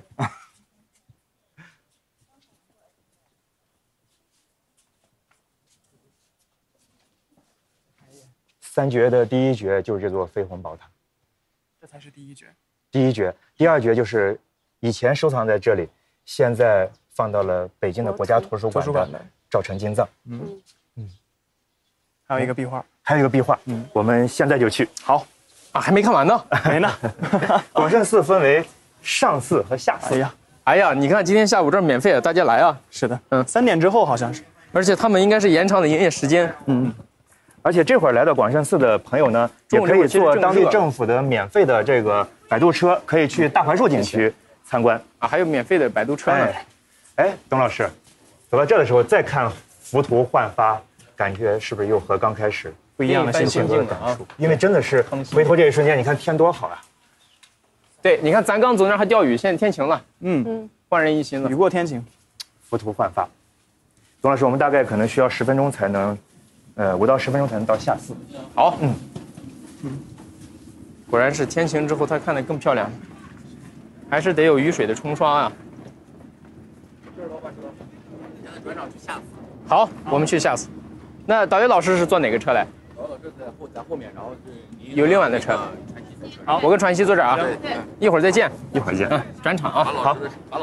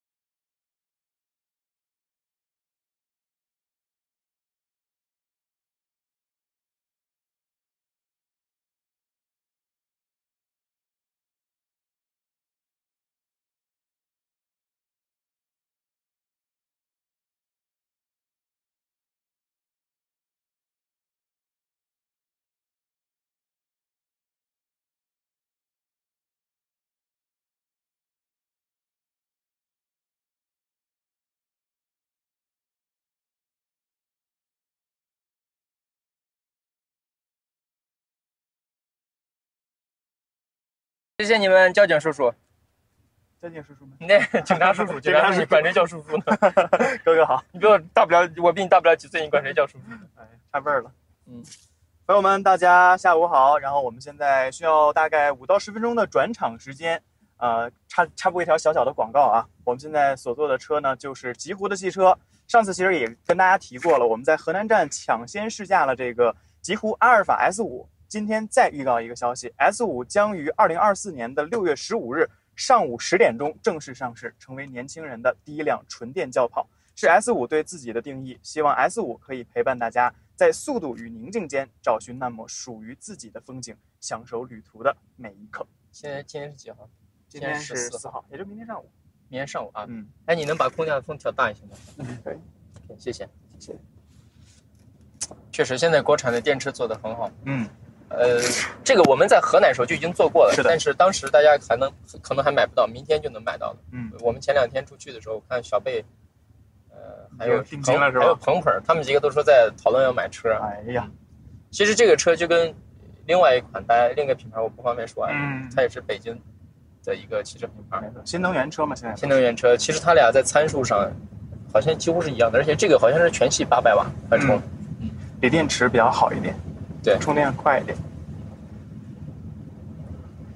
还是挺庆幸自己来了的。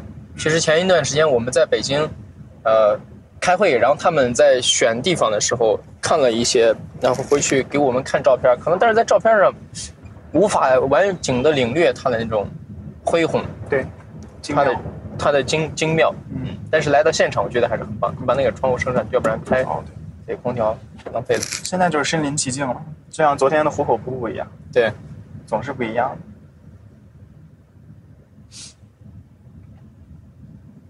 我们看到的很多风景啊、名胜古迹啊，包括这种大江大河，有的时候视频啊，或者说照片儿，它无法完完全全的呈现出来它的美感和它的这种壮阔。绕塔三匝，嗯，替镜头前的你许了一个愿，但是我看到你在评论区也也表达了。其实你发现大家表达最多的愿望是家人平安喜乐平安，对，健康顺遂。平安喜乐，黄金早。昨天我们慢枣，黄金早，黄金早。有时间其实跟你家人出去走走啊。哎，这个车静音效果还挺好的。嗯，上面还有这个，看起来好像我们是很晒的样子，但其实上面它是有一个防晒系数的，包括前挡风玻璃和上面的这个天窗，嗯都是有的。唐朝的叶子，历史的痕迹。对，虽然它每年都会焕发，你看，虽然我们说松柏常青啊，但是它叶子也会在换季时候会有掉的。发黄，对，它有的小的枝儿它就掉下来了，然后它还会持续长出新的叶子啊，只不过它不像那种阔叶，它每年长出很多，落很多，长很多，它长得少，落的少，但是它仍然会有。来到山西呢，感觉好像一切东西都是都是被剥旧了的，但其实这种背后就是岁月的沉淀。我我们昨天、今天、前天一直在说的，这么多的古建筑，你想历史上其实还是有破坏，还是有甚至有焚毁，啊，还有倒塌。但即使即便如此，它仍然现在有这么多流传下来。那你想，在古代它得有多少啊？对，能修那么多，这儿的人是多么虔诚呀、是的，对吧？另外，它能修这么精致，它得有多少钱呢？所以这儿是真的富庶啊。嗯，嗯，到了是吧？到了，很快看。下的这个坡就是，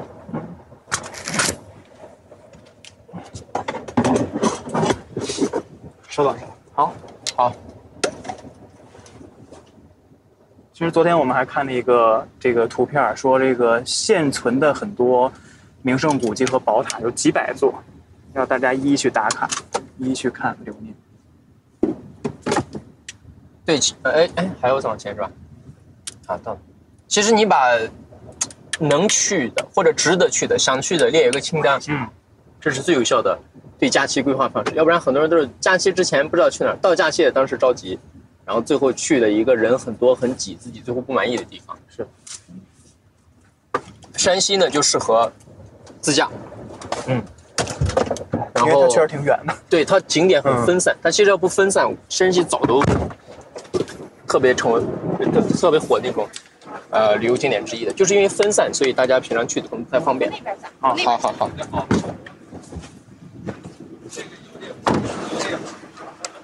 你好，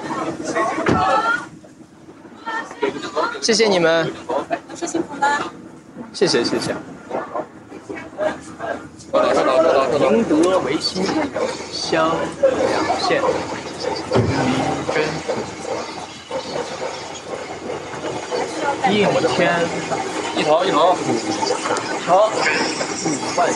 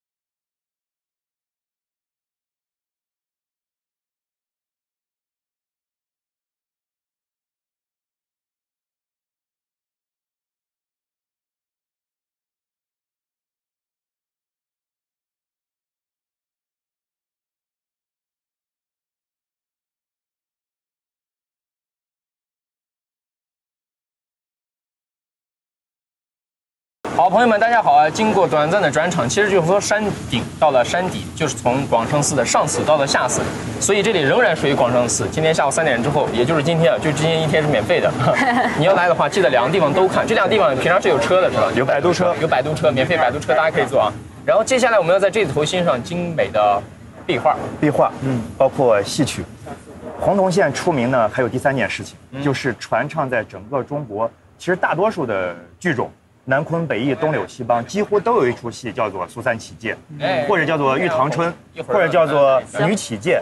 对，那么苏三离了洪洞县，将身来到大街前，呃，未曾开言，我心惨淡。过往的君子，你听我言。所以当这个戏曲传到全国各地的时候，全国人都知道苏三离了洪洞县。洪洞县。行，行，好，请观众朋友先走啊。苏三怎么唱来着啊？怎么唱？苏三离了红线，专业，专业的，好厉害，好厉害呀！咱还没放声唱呢。大学就是学学这个，学京剧的，对，学戏曲的。待会儿我也来个刘大哥。你来个豫剧，哦，后面戏台上已经有戏曲表演了。哎呀，晋南的蒲剧，火凤凰。火凤凰，对。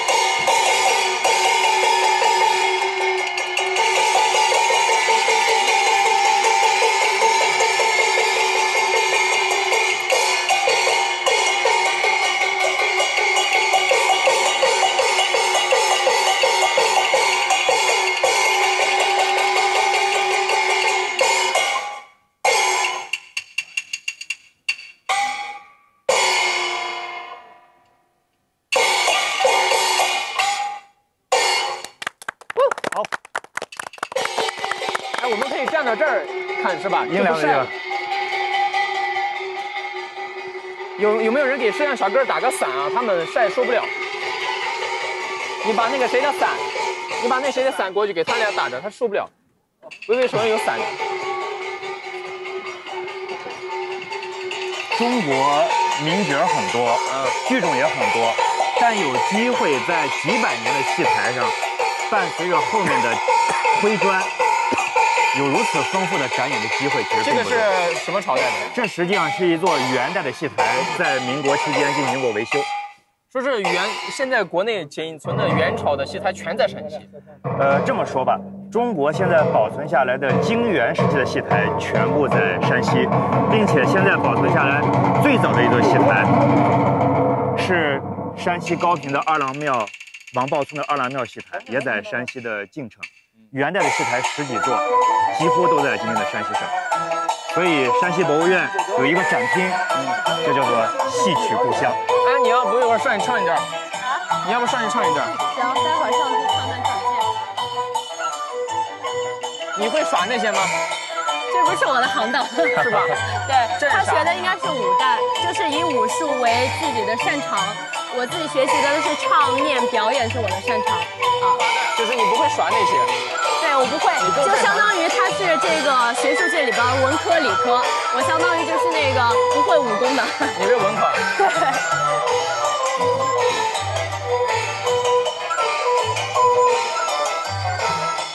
这个听着很热闹。对，讲的是啥？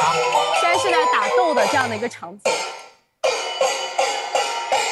嗯哦，你看他的手，嗯，对，所以其实戏曲它非常好的一点就是把这个故事剧情和你的这个记忆结合到一块儿，嗯，它既有难度又有剧情。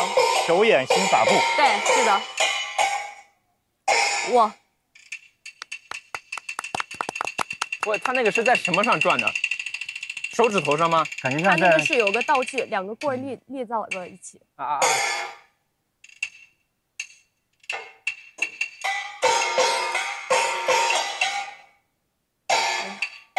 哦，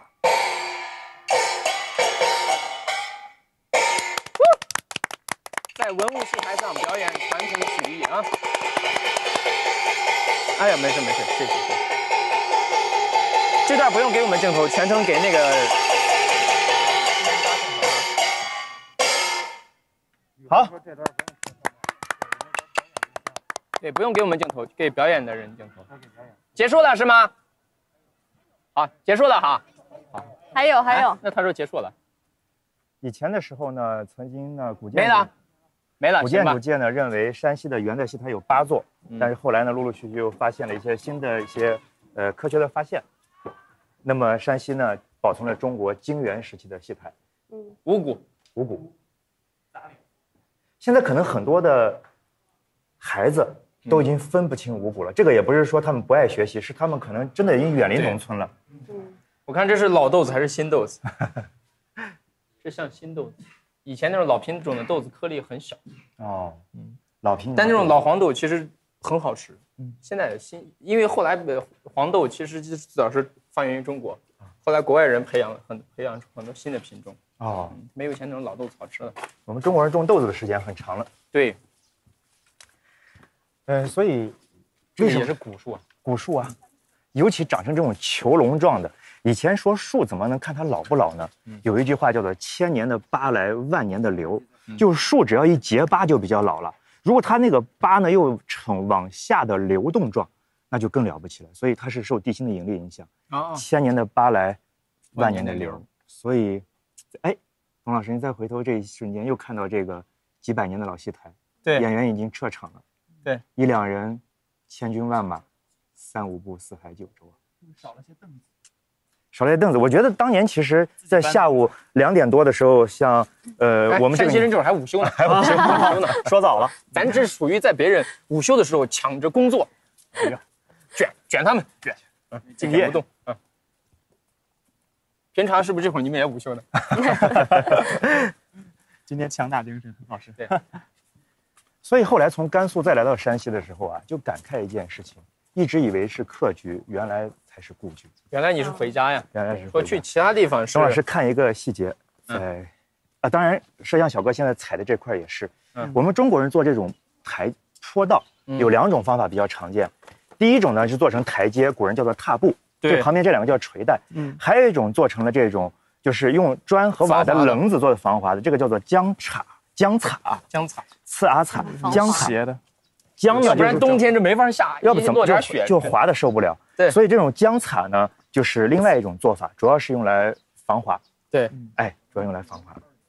它就是砖的棱儿，棱角就是像咱轮胎花子一样。轮胎花子做的越棱儿，可能可能防滑效果更好。对，你看这儿也被人手摸的发光了，发现没？油光锃亮。石狮子这是元代的小狮子，元代的，元代的小狮子。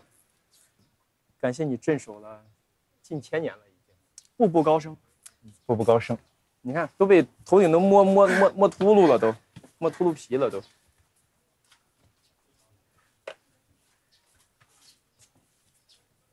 元代的水神堂，元代的元代的水神庙，水神庙。哎，明应王殿然后外面这些塑像也是元代的。是哎，啊，现在也已经成了文物保护单位了，是吧？对，不上香火了。我们著名的广胜寺三绝，嗯，飞鸿宝塔，嗯，赵城金藏，最后一绝就叫做元代壁画，我们把它叫做教科书级别的壁画，为什么呢？因为它编入了1998年的中国历史教科书，啊，所以它是真的是教科书。它，是真的是教科书级别的，嗯，它不叫教科书集，它就是教科书壁画。在里面的。是在里边，嗯。你看这也是可能来往的人这个腿啊、裤腿啊，或者鞋帮啊，嗯，或者肉身裤脚啊，对刷反正你看在它上面，这就是那瘤嘛，对吧？对。嗯把这都磨光了。董老师，你还小，你小时候有没有住过炕？住过呀，炕不是边上要做个炕边儿吗？也是磨得光光的，磨得光溜溜的。嗯炕边一般木匠只用一种木料做，就是枣木。枣木。枣木的油性比较大，嗯它有个好处是什么呢？越用越光。嗯，你如果用个硬杂木的话，最后的结果它一旦一开裂，倒刺。人人一人往下一一下炕一出溜啊，那裤子就划烂了。对啊枣木是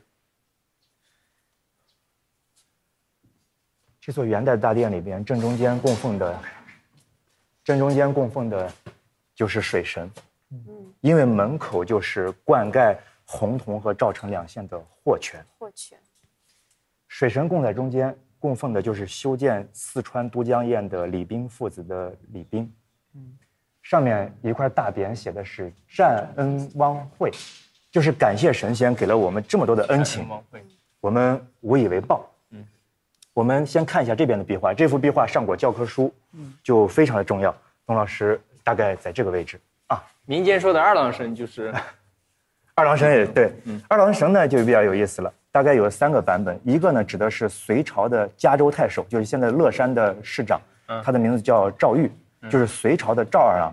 还有一个二郎呢，就是治水的李冰父子，他的儿子叫李二郎，就是住在四川的灌口县，就现在的都江堰。对还有一位二郎呢，就更有意思了，就是劈山救母这个，呃沉香，呃，沉香玉皇大帝的外甥嘛，杨戬嘛。对，哎，所以我们中国的二郎神信仰是比较普遍。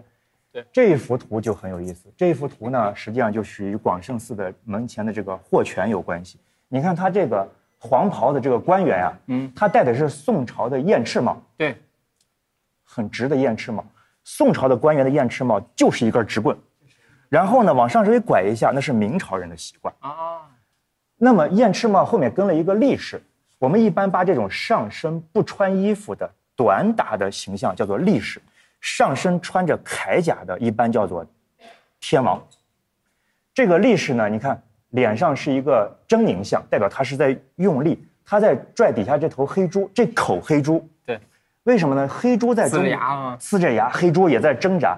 实际上，在中国传统文化里边，黑猪是水渠的拱卫者。对，它拱渠嘛，黑猪拱渠一拱以后，这个渠水就出来了。实际上一定是一个水的故事。这边呢，呃，上面这块有一幅画，啊，有一幅画，前面那个旗看得很清楚，大唐，大唐，那这个就没有法作假了。我们知道壁画几乎是没有办法修改的，壁画现在即使维修，也只是对它的旗甲呀、空鼓呀、军列呀进行一些维修。你不可能重新画，重新画实际上是二次创作。这上面写的大唐，这这幅图呢叫做《赤剑新唐寺图》。嗯洪洞县还有一个很重要的景区就是新唐寺。梁思成先生当他在当年在他的考察报告里边就写过新唐寺。然后呢，赤剑新唐寺图，你看后面呢有一个华盖，华盖下方呢，大家守卫着一个，呃，前面是一匹马，马的身上驮着一个，呃，供奉舍利的一个塔的造型，上面飘着云气，飘到了空中。那么这边是什么呢？这边画的是祈雨图。嗯，中国到现在为止，它依然是一个农业国家，对，水利资源对中国的老百姓太重要了。风调雨顺是最重要的事情。哎，风调雨顺是最重要的事情，所以地方官呢为民谋心谋利，所以他呢手里拿着一个像纸一样的东西，在向水神祈祷，希望水神给他多降一些清风细雨乾坤令，降一些雨。但是呢，他又讲降三分就好，降的多了就是则成灾了它成灾了；降的少了，水又不够用，所以三分为好。最近呢，山东河我才注意到，山东、河南很多地方大旱，我们也自然祈求一下哈。嗯，祈是一种祈报，是一种心愿嘛。那么正中间呢，水神端坐其中。董老师，您看呀、水神的壁画造型和正中间的塑像造型是一模一样的。，对，这就是中国传统雕塑里边的画塑一体。而且你看水神的这个眼睛和眉毛，它是有有一种威严在里头的。嗯，神灵有应，养达神修，一定是要有他的所属的威严。而且我发现，你看这里头所有的文官，他的长相其实是比较相对来说比较庄严，然后比较正常。但你看旁边其他那些后面那些，整个都是怒目圆睁，脸上呢曲线的比较多，五相，对，长得凶神恶煞。凶神恶煞的，因为不用霹雳手段，不显菩萨心怀嘛。呃，董老师您看哈，呃，这幅求雨的内容呢，实际上它是进入了中国人的想象力的，就是我们知道求雨在科学上来说，我们到底如何来做呢？所以它充满着想象。水神是一位神明，所以他旁边有他照顾他的人，嗯就是我们从宋代以后形成的这个六上。你看旁边的这些照顾他的这些服务团队，有人在拍那儿吗？哎，对那儿，大概是这幅图，叫，嗯，或者你们过来个摄像机，摄像机来站这儿。我们往近退一退对，退，我们应该把最好的机位给摄像机，你过来站这儿。大概是这幅图。我们看不是重点，让观众要看。现现在太棒了，现在正好自然光都这么的亮，对，嗯，现在主要是外头正中午呀。正中午，嗯山西中午。对，就是拍这些，你们摄像永远往第一最好的角度走啊。对，摄像师呢，现在正对的这尊侍女呢，你看手里带了一个白色的像包袱一样的东西。，对，这个里边包的是什么呢？包的是古琴。琴。她要在下午吃完面，睡醒以后 给水神弹一弹琴，让他去面吃多了，头头有点 困，我其实我其实低血糖了有点。对，然后呢，还有前面的这尊侍女在捧着花，就正最前方的这个捧着花。然后呢，旁边有给他拿各种各样的，嗯，啊，面吃多的是高血糖了，我说低血糖。实际上就是他的服务团队。哎呀，你看，我们照顾他越好，他才会给我们降下甘霖来。我在这个角度看有点立体的感觉。呃，它呃，一般这种级别的壁画呢，它都为了让它显示立体感呢，它都会用一种非常传统的技术，叫做立粉堆金。啊，包括你看这个前面的供的这个文臣对呢，，纹路啊，他衣服上也是啊，也是堆金，这个你们嗯，立体感觉非常强。老百姓把这这个四尊像叫喜怒哀乐，喜怒哀乐。喜怒哀乐。纹路，中间端坐在椅子上的就是水神，啊，这喜怒哀乐分别，这个像怒是吧？这个像哀哀。哀，哎，就这种表情。这个是啥？啊，其实是老百姓的一种想象。喜和乐，嗯，给给给这四个雕塑脸部一个镜头，让大家判断一下到底谁是喜谁是怒。这么细看，好像有点微微上扬。这个吗？对，但是老百姓有想象，古代的工匠他不见得是想象，因为这一定是他要认真对待的事情。所以董老师在这儿有一幅写入教科书级别的壁画，通过这个神像和这个柱子中间，你往上看，有两个人在下棋。对，哦，在下棋。您仔细看呢，它又不像象棋又又像象棋的棋盘，对，好但又像围棋的棋子有有楚河汉界，但是呢，棋子儿感觉又像围棋的棋子儿。嗯，那这是元朝人画的。嗯在元朝我们会不会有其他的这种博弈的呃这种娱乐的棋具，或者说是画师也不见得完全写实，都有可能。对，嗯，就在这个对弈图，也叫下棋图啊，正上方有一个像打高尔夫的样子。嗯，董老师，您往那个下棋图上面看，有人弯着腰，是这幅图就是著名的垂丸图。锤碗。垂丸图实际上比西方打高尔夫要早了好几百年。哦，那么底下是下棋，上面是打球。我们大胆的猜测一下，下棋第二个字是棋，上面是打球，第二个字是球，是不是就是祈求的意思？啊，有可能哈。因为画这些壁画的时候，工匠一定是脸上非常的素整的，因为他们在为神仙做事情。对，嗯，当然这只是猜测，因为梁先生当年说过，广胜寺的下寺旁边的水神庙里边的明义王殿里边的壁画，是他见过的中国所有的寺观壁画里边唯一一幅展示世俗题材的，不以神佛为背景。你看，画的是老百姓的事情啊，是，但是最精彩的画老百姓的是在这边，啊，嗯，是在这边，咱俩可能还得挤到那个缝隙里面去。没问题，摄像先进。摄像先进，嗯，就这个位置，大概你在最前面 大概这个角上，嗯。这幅壁画呢叫做《卖鱼图》，我们会看到中间的啊，哎那个秤上称了一个东西秤上称的，最关键的上面两个大 boss 啊，是他。们那个人手上拿了一个秤，秤下面钓了几个鱼，钓几个鱼，上面的看到没？这是秤是吧？放大的中间，三尾鱼，画面正中间是，哎，这只，嗯，现在画面正中间，如果把画面分为九宫格的话，正中间钓了三条鱼，看到没？嗯，然后上面有一条白色的线，线在上面就是秤杆，然后这个人眼睛在看着秤杆儿，看见没？鱼在正中间，呃，鱼在正中间是一个黄袍的老者，嗯，然后呢满脸堆笑，一脸慈虚。他为什么要笑呢？因为你看他穿的是草鞋，他和上面那些达官显贵，他应该是卖鱼的他是卖鱼的，他太希望这些达官显贵买他的鱼了。而这些达官显贵根本不缺吃喝，你看他的桌子的正下方甚至还有一个木头的像一个斗一样的造型，对，里里边里边应该放着冰镇的瓜果，对，哎，你过来看，能看到西瓜纹儿嗯，你拍这个不是这儿，往这边一点，这个案子底下，哎，现在画面正中间九宫格的正中间这块，大家看到没？有纹路，是西瓜的纹儿，冰镇西瓜纹儿，嗯。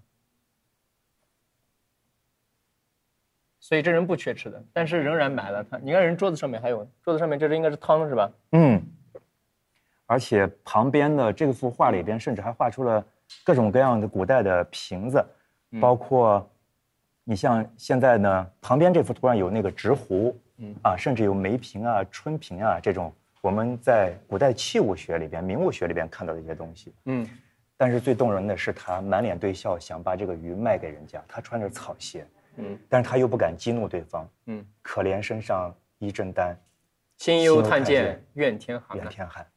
但是呢就在这一瞬间，看到了让人非常伤感的一幕。如果再仔细的拍那个买鱼的那个人，你会发现一个细节，他在用左手的小指在挑秤砣。对，我们都知道，在杆还在偷秤里边奸耍滑他还在偷奸耍滑，他不想给那么多的钱，他都那么有钱了。他都那么有钱了。所以这是人之道，损不足而补有余啊。对，嗯对，就是这儿，中间现在画面正中间九宫格，这是这个人的左手，他用小手指在抬秤砣儿。当然，也有学者认为呢，三尾鱼正好是三分雨的意思。啊啊啊！就雨比较多。然后那边呢是下棋这边是卖鱼，又是祈雨的意思。我们我们更想听第二种故事，要 不然太让人心痛了啊。太让人心痛了。就是下雨，但不要太多，收一点儿，对，收着下。下雨到底是怎么形成的呢？我们早上我们一点多的时候在上寺飞虹塔下看到雨雨雨纷纷嘛，对吧？实际上我们看看那边是求雨，这边当然就是降雨。我们雨已经开始下了。你看上面已经开始下了。然后董老师，你看正中间，就以画幅的整个的正比例的正中间，水神的头顶上，我们大概会看到一个面貌长着雷公嘴的造型。对，没事，您讲，我我给他哎对一下镜头。呃，对，董老师应该能找见那个位置。对，我们让摄像师往那个位置对一下。对，长着一个尖嘴的人嗯，他旁边有一圈，实际上都是小鼓，小鬼儿，小鼓。然后呢，他拿着凿子和锤子在转圈的打那些鼓。对，他就是我们中国传统画像里面的雷公。雷公长着尖嘴，所以我们说雷公嘴。所以那是雷公。周围一圈的鼓。然后呢，我们还在旁边能看到打岔的人，歘歘，对，电母，闪电，雷公电母。雷公电母，风伯雨师。然后呢，雨呢通过这儿就下来了，普降甘霖，云行雨施。最关键的是，他们在下次画壁画的时候，依然忘不掉在霍山半山腰上头顶上的上寺，所以他们在这个角上又画出来上寺。对对，当然这是画的元朝的，就是那个元朝的那个飞虹塔的前身，但是看起来很像。对，你看，你看那个塔还在，彩虹的颜色在我那边，下完雨以后发出熠熠的这光彩，琉璃屏幕中间就是塔，绯红通天，所以说明人就是降降的就是这儿的雨，哎，哈，这雨下的很寸，下的三分雨，嗯，下的三分雨。然后教科书里边还画了什么呢？教科书里边还收了这幅壁画，这幅壁画太绝了，上面还写了太行散月中都秀秀在此坐场。古代太和大是同一个意思，所以呃就是大太行啊太行。散乐呢就是一种演唱形式嘛，嗯啊，然后中都秀是这个班子的班主，然后呢在此作场，我在这里，呃，我在这里唱了三天大戏，唱戏，大家都来看。嗯，那么，呃，山西博物院里面为什么会有一个展厅，就敢叫戏曲故乡呢？首先，山西保存了中国目前最古老的一批戏台。嗯。第二呢，山西现在不完全统计，大概戏台能保存好几千座。第三呢，在宋朝的时候，北宋的时候，山西的泽州人孔三传呢，守在汴京开创诸宫调。嗯。第四呢元曲四大家里边，按照老家来说，三位都是在山西的，两个是直接出生在这儿，一个是祖籍在这儿，哎一个是祖籍在这儿啊，一个是祖籍在这儿，所以又有戏曲的理论家，又有戏曲的呃作者本身的作者，然后呢，山西又是中路梆子，也叫晋剧，北路梆子、大同梆子，还有上党地区的太行山地区的上党梆子，还有蒲州梆子、蒲剧，对吧？然后还有一些小的一些道情啊、迷糊啊，所以山西的戏曲的演奏的种类也比较全，所以山西博物院将它叫做戏曲故乡。戏曲之乡这幅图画的，我不知道他为什么都画了一个宋朝人的打扮。你看中间中都秀啊，着红袍者，嗯，薄衣飘带，手持护板。你看他的那个啊，当然元朝人画宋朝很容易，因为他见过。是，嗯，但他这里头也有唐风啊，你看。有啊，旁边这人其实这就已经是是不是宋朝的样子了，嗯，对吧？左手边这，你看左手边这，然后这种，呃，衣带飘飘的，对，所以你发现元朝人画，我们昨天在呃永乐宫那儿也是，它有前面一个殿就是传就是传统的唐风，饱满线条很长，然后他有一个也是宋风，就是人的发饰啊、服装啊，甚至大量的留白呀、嗯，显得很清秀，可能就元的，因为元他草原民族，他自己对于审美。跟中原王朝不太一样，而且实事求是来说，他没有中原王朝当时那么成熟的审美嗯技法和审美标准，所以他来了之后呢，发现哎，唐有唐的美，宋有宋的美，他干脆就我也必须知道哪个更好，但我觉得俩都好，我就给你都显示着。我觉得有可能有这种考虑。呃，如果我暂时创作不出来更好的一种想象力，那我就用你留给我的。继承本来就是一种弘扬嘛，是，所以这个壁画里边啊，董老师您刚提到元朝，你看实际上它后面有一排，有人就戴着元朝的帽子，这个这个这儿，元朝的帽子，对，这儿圆的帽顶，元的帽子周围带着边儿呢，这就是元朝。对，甚至还有丑角儿。然后中多秀呢，作为班主来说，她稳居 C 位，然后呢一脸的庄重，她可能是一位女性，在女女扮男装。啊，哎，就最中间这个，对，最中间这位着红衣服着红袍、着将袍的人，对对对，最动人的一个瞬间是哪里呢？最动人的一个瞬间，可能是他感觉要超时了。嗯，所以你看，在那个角上有一个催场的一个小朋友，撩开帘子说：“到底还有多久？对，小孩在这催呢，？”小孩在催，小孩说赶快下一个准备好了，下一个准备好了。对，下一个准备好了。所以这幅壁画呢，你是那个小孩实际上我们看的是历史，嗯但是历史何曾不是今天？所以我们今天呢，在这还可以看到一个瞬间，哎呀戏曲活过来了。好，感谢感谢。拍壁画的时候，你们就往最好的位置走啊。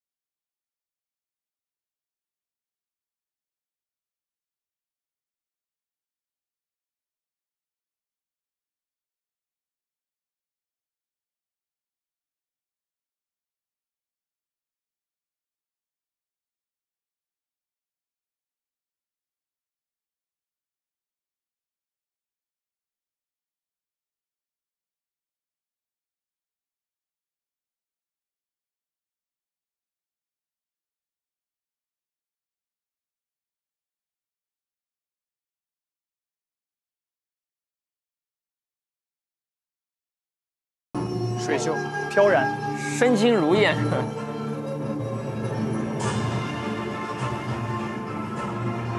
安 安，你会这种吗？下次来一个。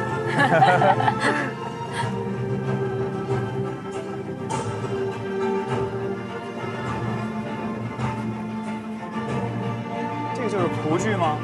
啊，蒲剧，蒲剧，蒲剧的水袖功，水袖功。哎，还有水袖，还有那天我们晚上看，就是头顶戴两边的那个，然后抖那个的。帽翅功，那个冒赤功叫冒赤翎子，林子。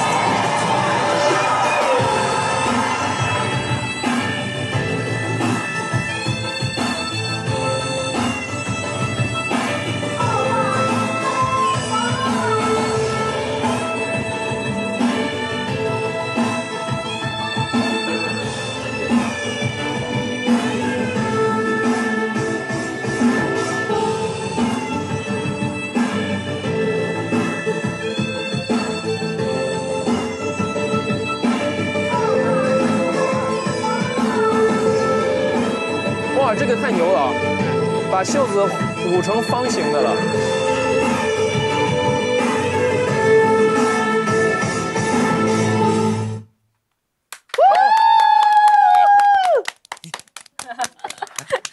董老师不知道怎么表达，就是真的不知道该怎么表达。对，如果刚才的中独秀他活过来了，嗯，他该怎么表达？谢谢。现在这个场景，嗯，就是说，如果刚才壁画里边那个班主，嗯，元代的班主 中都秀活过来了，当他现在看到这么优秀的演员有这么漂亮的水袖功的时候，那他肯定想让他两个弟子一起表演一下。哎呀，乖，我我没有水袖啊，我现在。安也学过戏曲。对对对，我学过戏曲。嗯，我们镜头现在是哪个？等一下，我给你个麦哈。啊，没事，我现在带了。给这位老师一个，给老师一个麦。对，小姐姐是学蒲剧的，是吗？对，我们是学蒲剧。学蒲剧的，我学的是京剧。其实蒲剧和京剧有很大的缘分，因为都是呃中国戏曲非常重要的组成部分。然后京剧呢，其实也一直向蒲剧学习了好多，比如说大家很熟悉的“清早起来什么镜子照”，从蒲剧学来的。梳一个油头，什么花儿香？对。还有这个蒲剧的挂画，油头梳一个油头，什么花香？对，那是啥花？啥花？那桂花香。对，然后还有蒲剧的挂画，对我在京剧里边也学过那个跳椅子舞，对不对？对，呃，相对来说难度比较高，所以蒲剧是一个非常亲切。我们那届这么高一个小孩跳那个，是我小时候就学过，老吓人了。啊。对，真的很吓人，或者说他有这个，对，他在挂画的时候，其实戏曲人他就会用一些这种技艺，然后表示这个难度。你这个动作很标准。哎呀，他也大学学这个的，毕竟学过。对对对，呃，所以就是今天呢，非常欢迎，就是大家能够来到山西去玩。它其实除了有非常多优秀的壁画，还有这样有魅力的蒲剧，对吧？戏曲之乡啊。谢谢谢谢，我在这里推广一下我们临汾蒲剧。嗯，我们蒲剧呢有四百多年的历史了。就是除了昆曲以外呢，可以说是也算一个比较悠久一点的剧种，所以希望大家能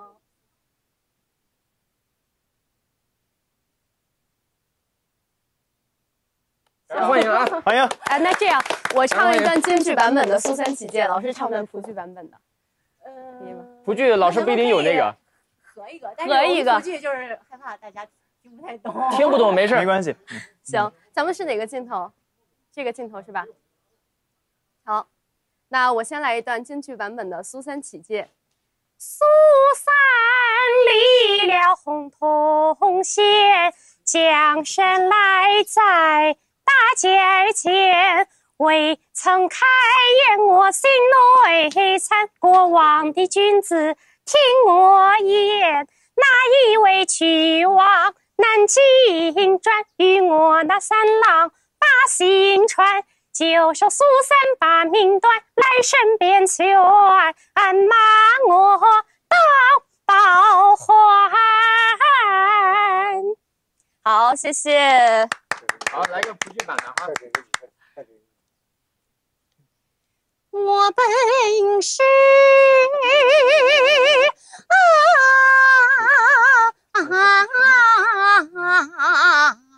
啊。良家女，父为官宦，母养是这中村，为人送贤。好，谢谢。在京剧里，这个鼓掌叫叫好。只要是版本不太相同，版本不太相同，也可以听懂。当然，对，就是山西话 方言。所有的地方戏，它都以当地的一个语言为基础。对对对。我们主要是以古浦州，就是永济，你们已经去过了。我们的发源地是永济。嗯嗯嗯，感谢，谢谢谢谢罗老师，欢迎你常来临汾。那么咱们握个手吧。你你 你得把麦给我。这样把麦给你顺到我们普吉了。挺好，原来如此。谢谢啊，我们接下来要要去下一个地方了啊。好，感谢您。我虽然这个不会戏曲，但是我把这些记录了下来。但咱会鼓掌啊。对呀。对，咱会叫好是吧？咱当不了主角，咱能当这个观众。是的。是。然后我用这台 OPPO Reno 十二手机，然后记录下来它的动态的照片，有一个 Live 的功能，所以说声音和画面都已经有了。对，有一个 live 功能。对。啊，所以你看这么那个啥的文物，就就在民宅之间啊。嗯，所以小时候听山西朋友说，村里都是庙村里都是庙，然后，每个庙里边都有，呃，很多学校啊，很多这个学校有壁画。都有壁画。以前的学校就在这些地方。对，我我以前上学那学校是以前地主家那祠堂。祠堂。啊，董老师，你看这根大梁，我们总是说古建筑特别费木料。嗯，你看这后面有一根备用料，就在这个位置放着，哦，已经这么多年了，因为这个料一直后来没有用起来。嗯，但是你看放在地下的时候，它有多大？我们中国啊，我们现在看到元朝的建筑，我们觉觉得稀松平常，实，际上这一这一根一整根料啊，呃就这这这个料间切了中间切了底底下这根料，嗯嗯，底下这根料如果换上去的话，就是它的一根大梁嘛。这一般是什么木料？什么？呃，一般是松木，这根木料呢还是进口的，啊，因为啊原因很简单，就是我们会看到一个细节，就是中国的古建筑啊，明代以前的都比较大，明代以前的尺寸变得比较小。我们现在嗯没有看古树了。我们看到元朝的建筑，觉得这两天已经看了很多了。实际上，整个中国的元朝建筑也不过几百座。对，主要原因为什么变小了呢？第一个原因就是明朝以后木料极度的短缺，没有古树了。没有古树了，你怎么来做嘛？第二个原因就是砖体墙的出现，墙上使开始使用砖了，它就不需要飞檐那么长来保护它的土坯了，对所以自然就变小。对，所以你看，就是大家发现在发现，很多人喜欢看建筑，喜欢看唐代建筑，飞檐是最大的。飞檐是最大的。从唐以后，飞檐越来越小，越来越小，越来越小。啊，中国古建筑一一精彩部分就是在看房顶了，嗯，呃，中国古建筑最大的特点其实就是大屋顶，大屋顶。大屋顶。董老师，你看这儿其实还有竹子，嗯在山西啊，南部地区可能竹子比较好长，一过雁门关，可能长竹子就长不出来了。嗯，所以？僧人喜欢竹子呀，在山西的太原有一个寺院叫童子寺，里边呢好不容易长出来一根竹子，啊然后呢寺僧呢每天让一个小沙弥呢去看这竹子好着没有，嗯所以小沙弥每天要报一遍平安，所以叫竹报平安嘛。啊，我们这儿就不上去了，这儿不上去。对，这儿就不上去了。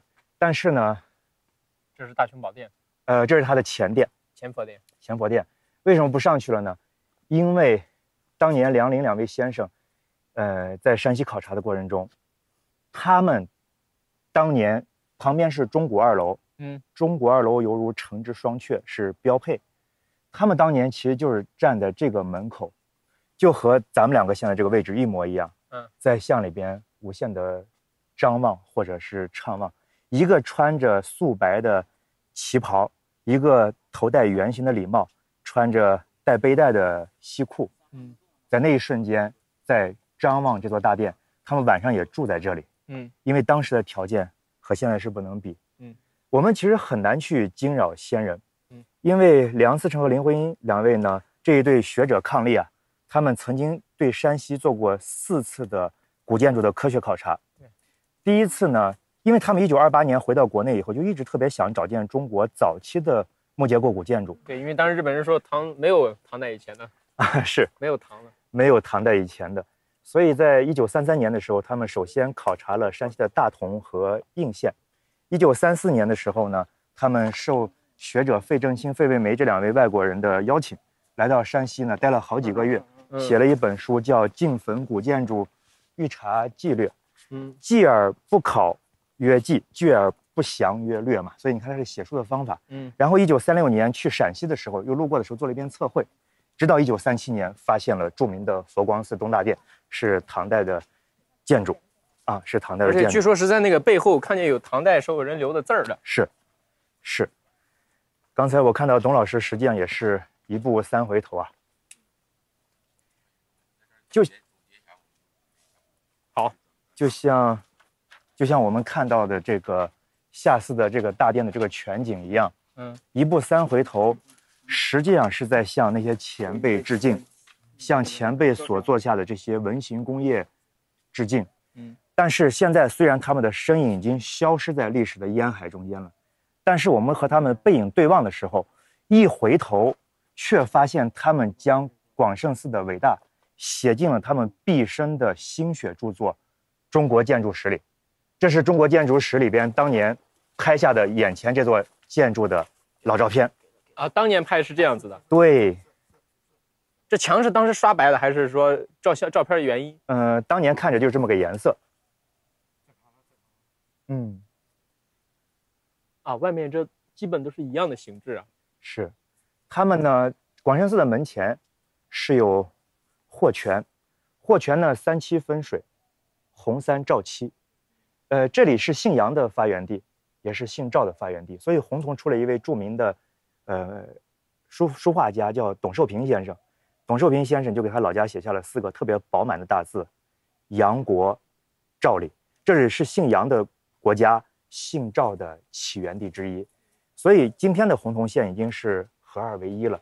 但是梁林两位先生呢，当年来拍摄的照片，其实在这一瞬间又光华闪现。嗯，这就是洪洞县，它是一个伟大的移民文化。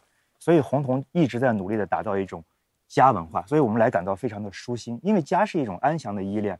所以说走遍天涯，洪洞是家，并且这里也是很多著名的古人的老家。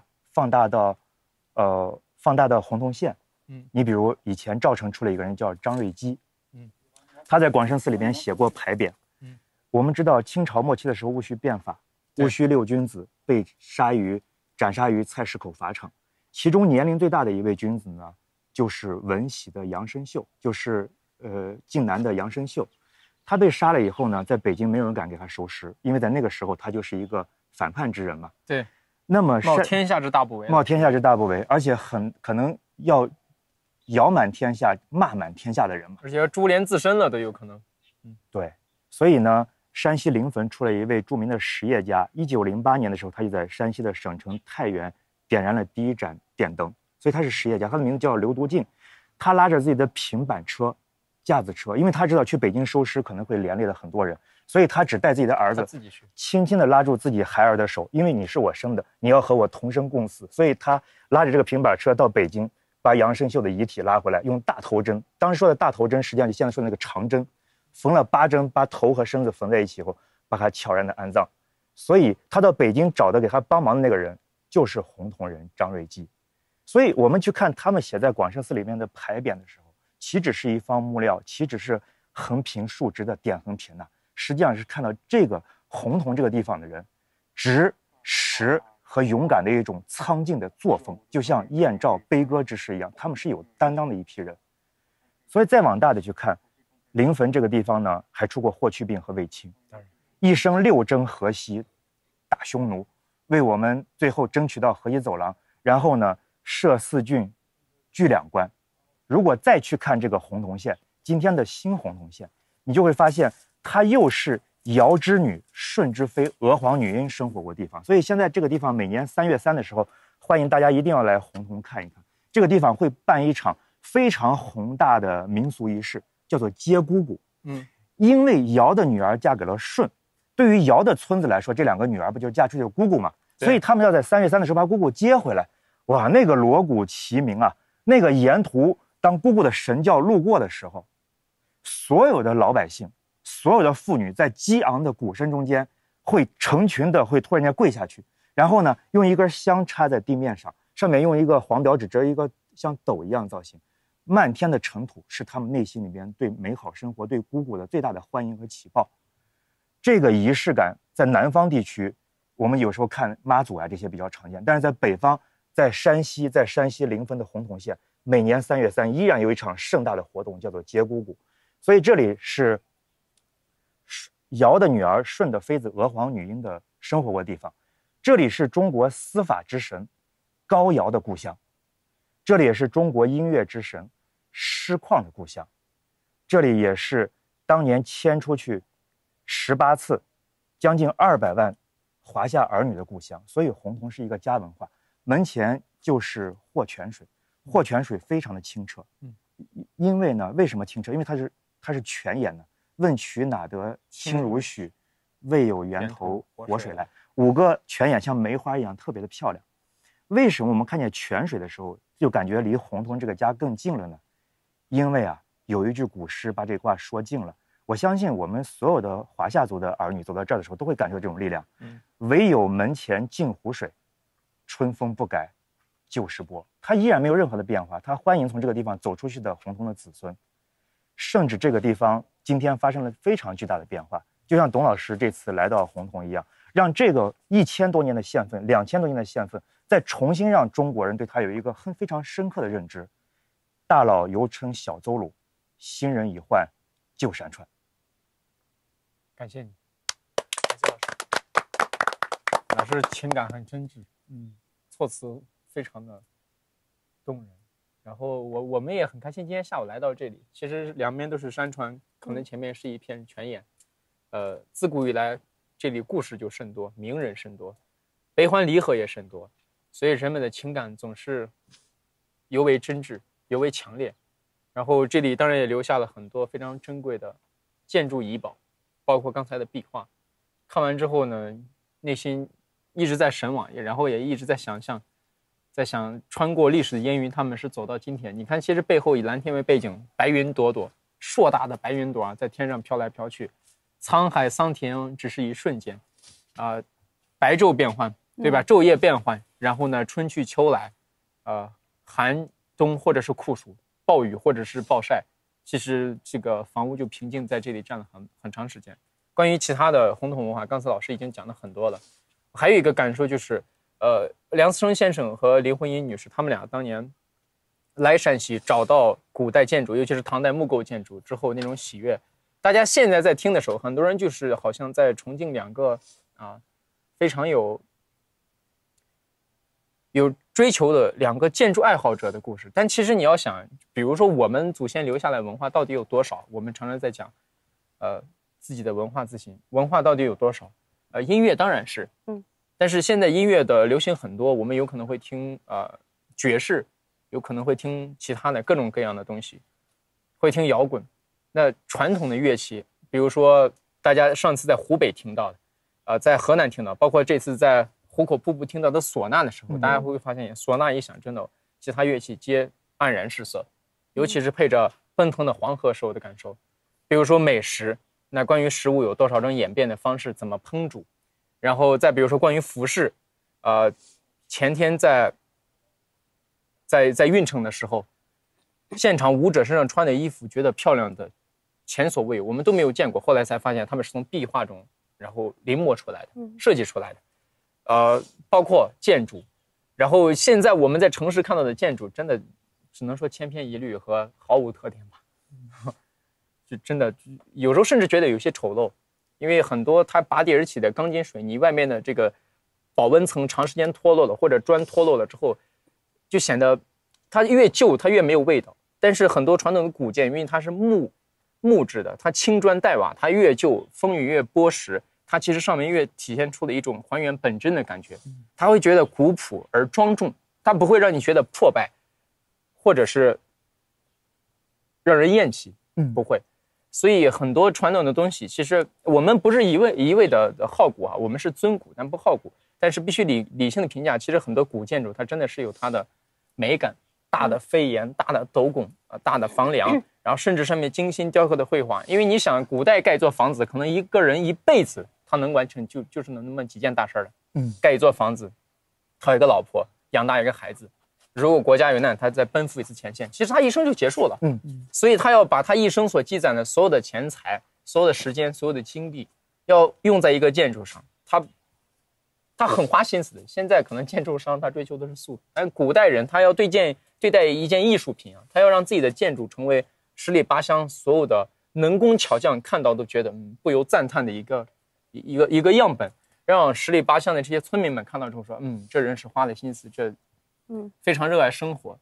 一个舒适的房屋，可能如果幸运的话，战火流离，然后地震灾害都没有侵蚀它，在后人看到的时候，它就成了一件瑰宝。其实就是用心去做好一件又一件的事情。嗯嗯，我们今天很感动。”尤其是您的讲述，是的，非常带入。看到这种场景就是历久弥新。对，嗯嗯，我今天也是非常震撼吧，觉得看到了这么精妙绝伦的古建筑。小时候可能总不懂，或者说看不懂这些古建筑，或者说壁画，但是到了今天，我觉得他们不是静静的伫立在那里，他们是富有生命力的。嗯，我觉得我仿佛站在那里，他们的每一个神态都是各异的。所以说我好像穿越回了几千年，跟他们有一场时空的对话那种感觉。那么我们今天也看了蒲剧，蒲剧大家都知道，戏曲有一个魅力就在眼神，眼神戏是非常重要的，所以说眼神戏它也是富有生命力的。那么戏曲的魅力其实就是把这些平面化的历史和人物和故事更加具体化、更加具象化的呈现在了我们的面前。所以说我们常说，时间它刻画了这个皮这片土地上的纹理，时间也孕育了这片土地上的历史，但是时间也时刻在提醒我们，不管是历史人文、名胜古迹，还是所有的传统文化，都需要我们去保护传承。好，感谢。加了一个刚才的演员安安，哎呀，感谢大家，那就先唱一句。苏三离了洪洞县，啊，今天呢，这个苏曾经的苏三可能离开了洪洞县，但今天呢，我们来到了洪洞县，非常非常的开心。建筑是凝固的历史，然后建筑的话也是动听的音乐。看到这样的一些房屋的时候，其实我觉得更多的不是觉得说它怎么这么旧，而是会惊叹时间赋予它这样的一层魅力。呃，然后今天的话，我们的老师也带领我们去看了很多的壁画。从壁画上，我们能看到早期人们的信仰。你看，在求雨，对吧？祈求风调雨顺。所以在这里呢，我们也衷心的祝愿大家，衷心祝愿我们国家昌呃繁荣昌盛以及风调雨顺。然后今天非常非常的开心，然后就确实还有个很大感受，就是没逛够。没逛够，对，没逛够，很多很多的细节，其实呃非常欢迎大家身临其境的感受。文化只有当你看到的时候，才会意识到你需要去重视。反正我今天看到很多壁画，它有点破败，甚至要脱落的时候，我会有点心疼。那么如果有大家说没有来过山西的，您可以先来看一看，因为确实很多的文物很可惜啊。其实，既不管你保护的再怎么精细，它终将是要脱落的。是，所以趁它在的时候多来一趟，看一看。欢迎大家到洪洞来，走遍天涯，红彤彤是家。好，下午免费啊片片儿，这片片儿，这片片儿。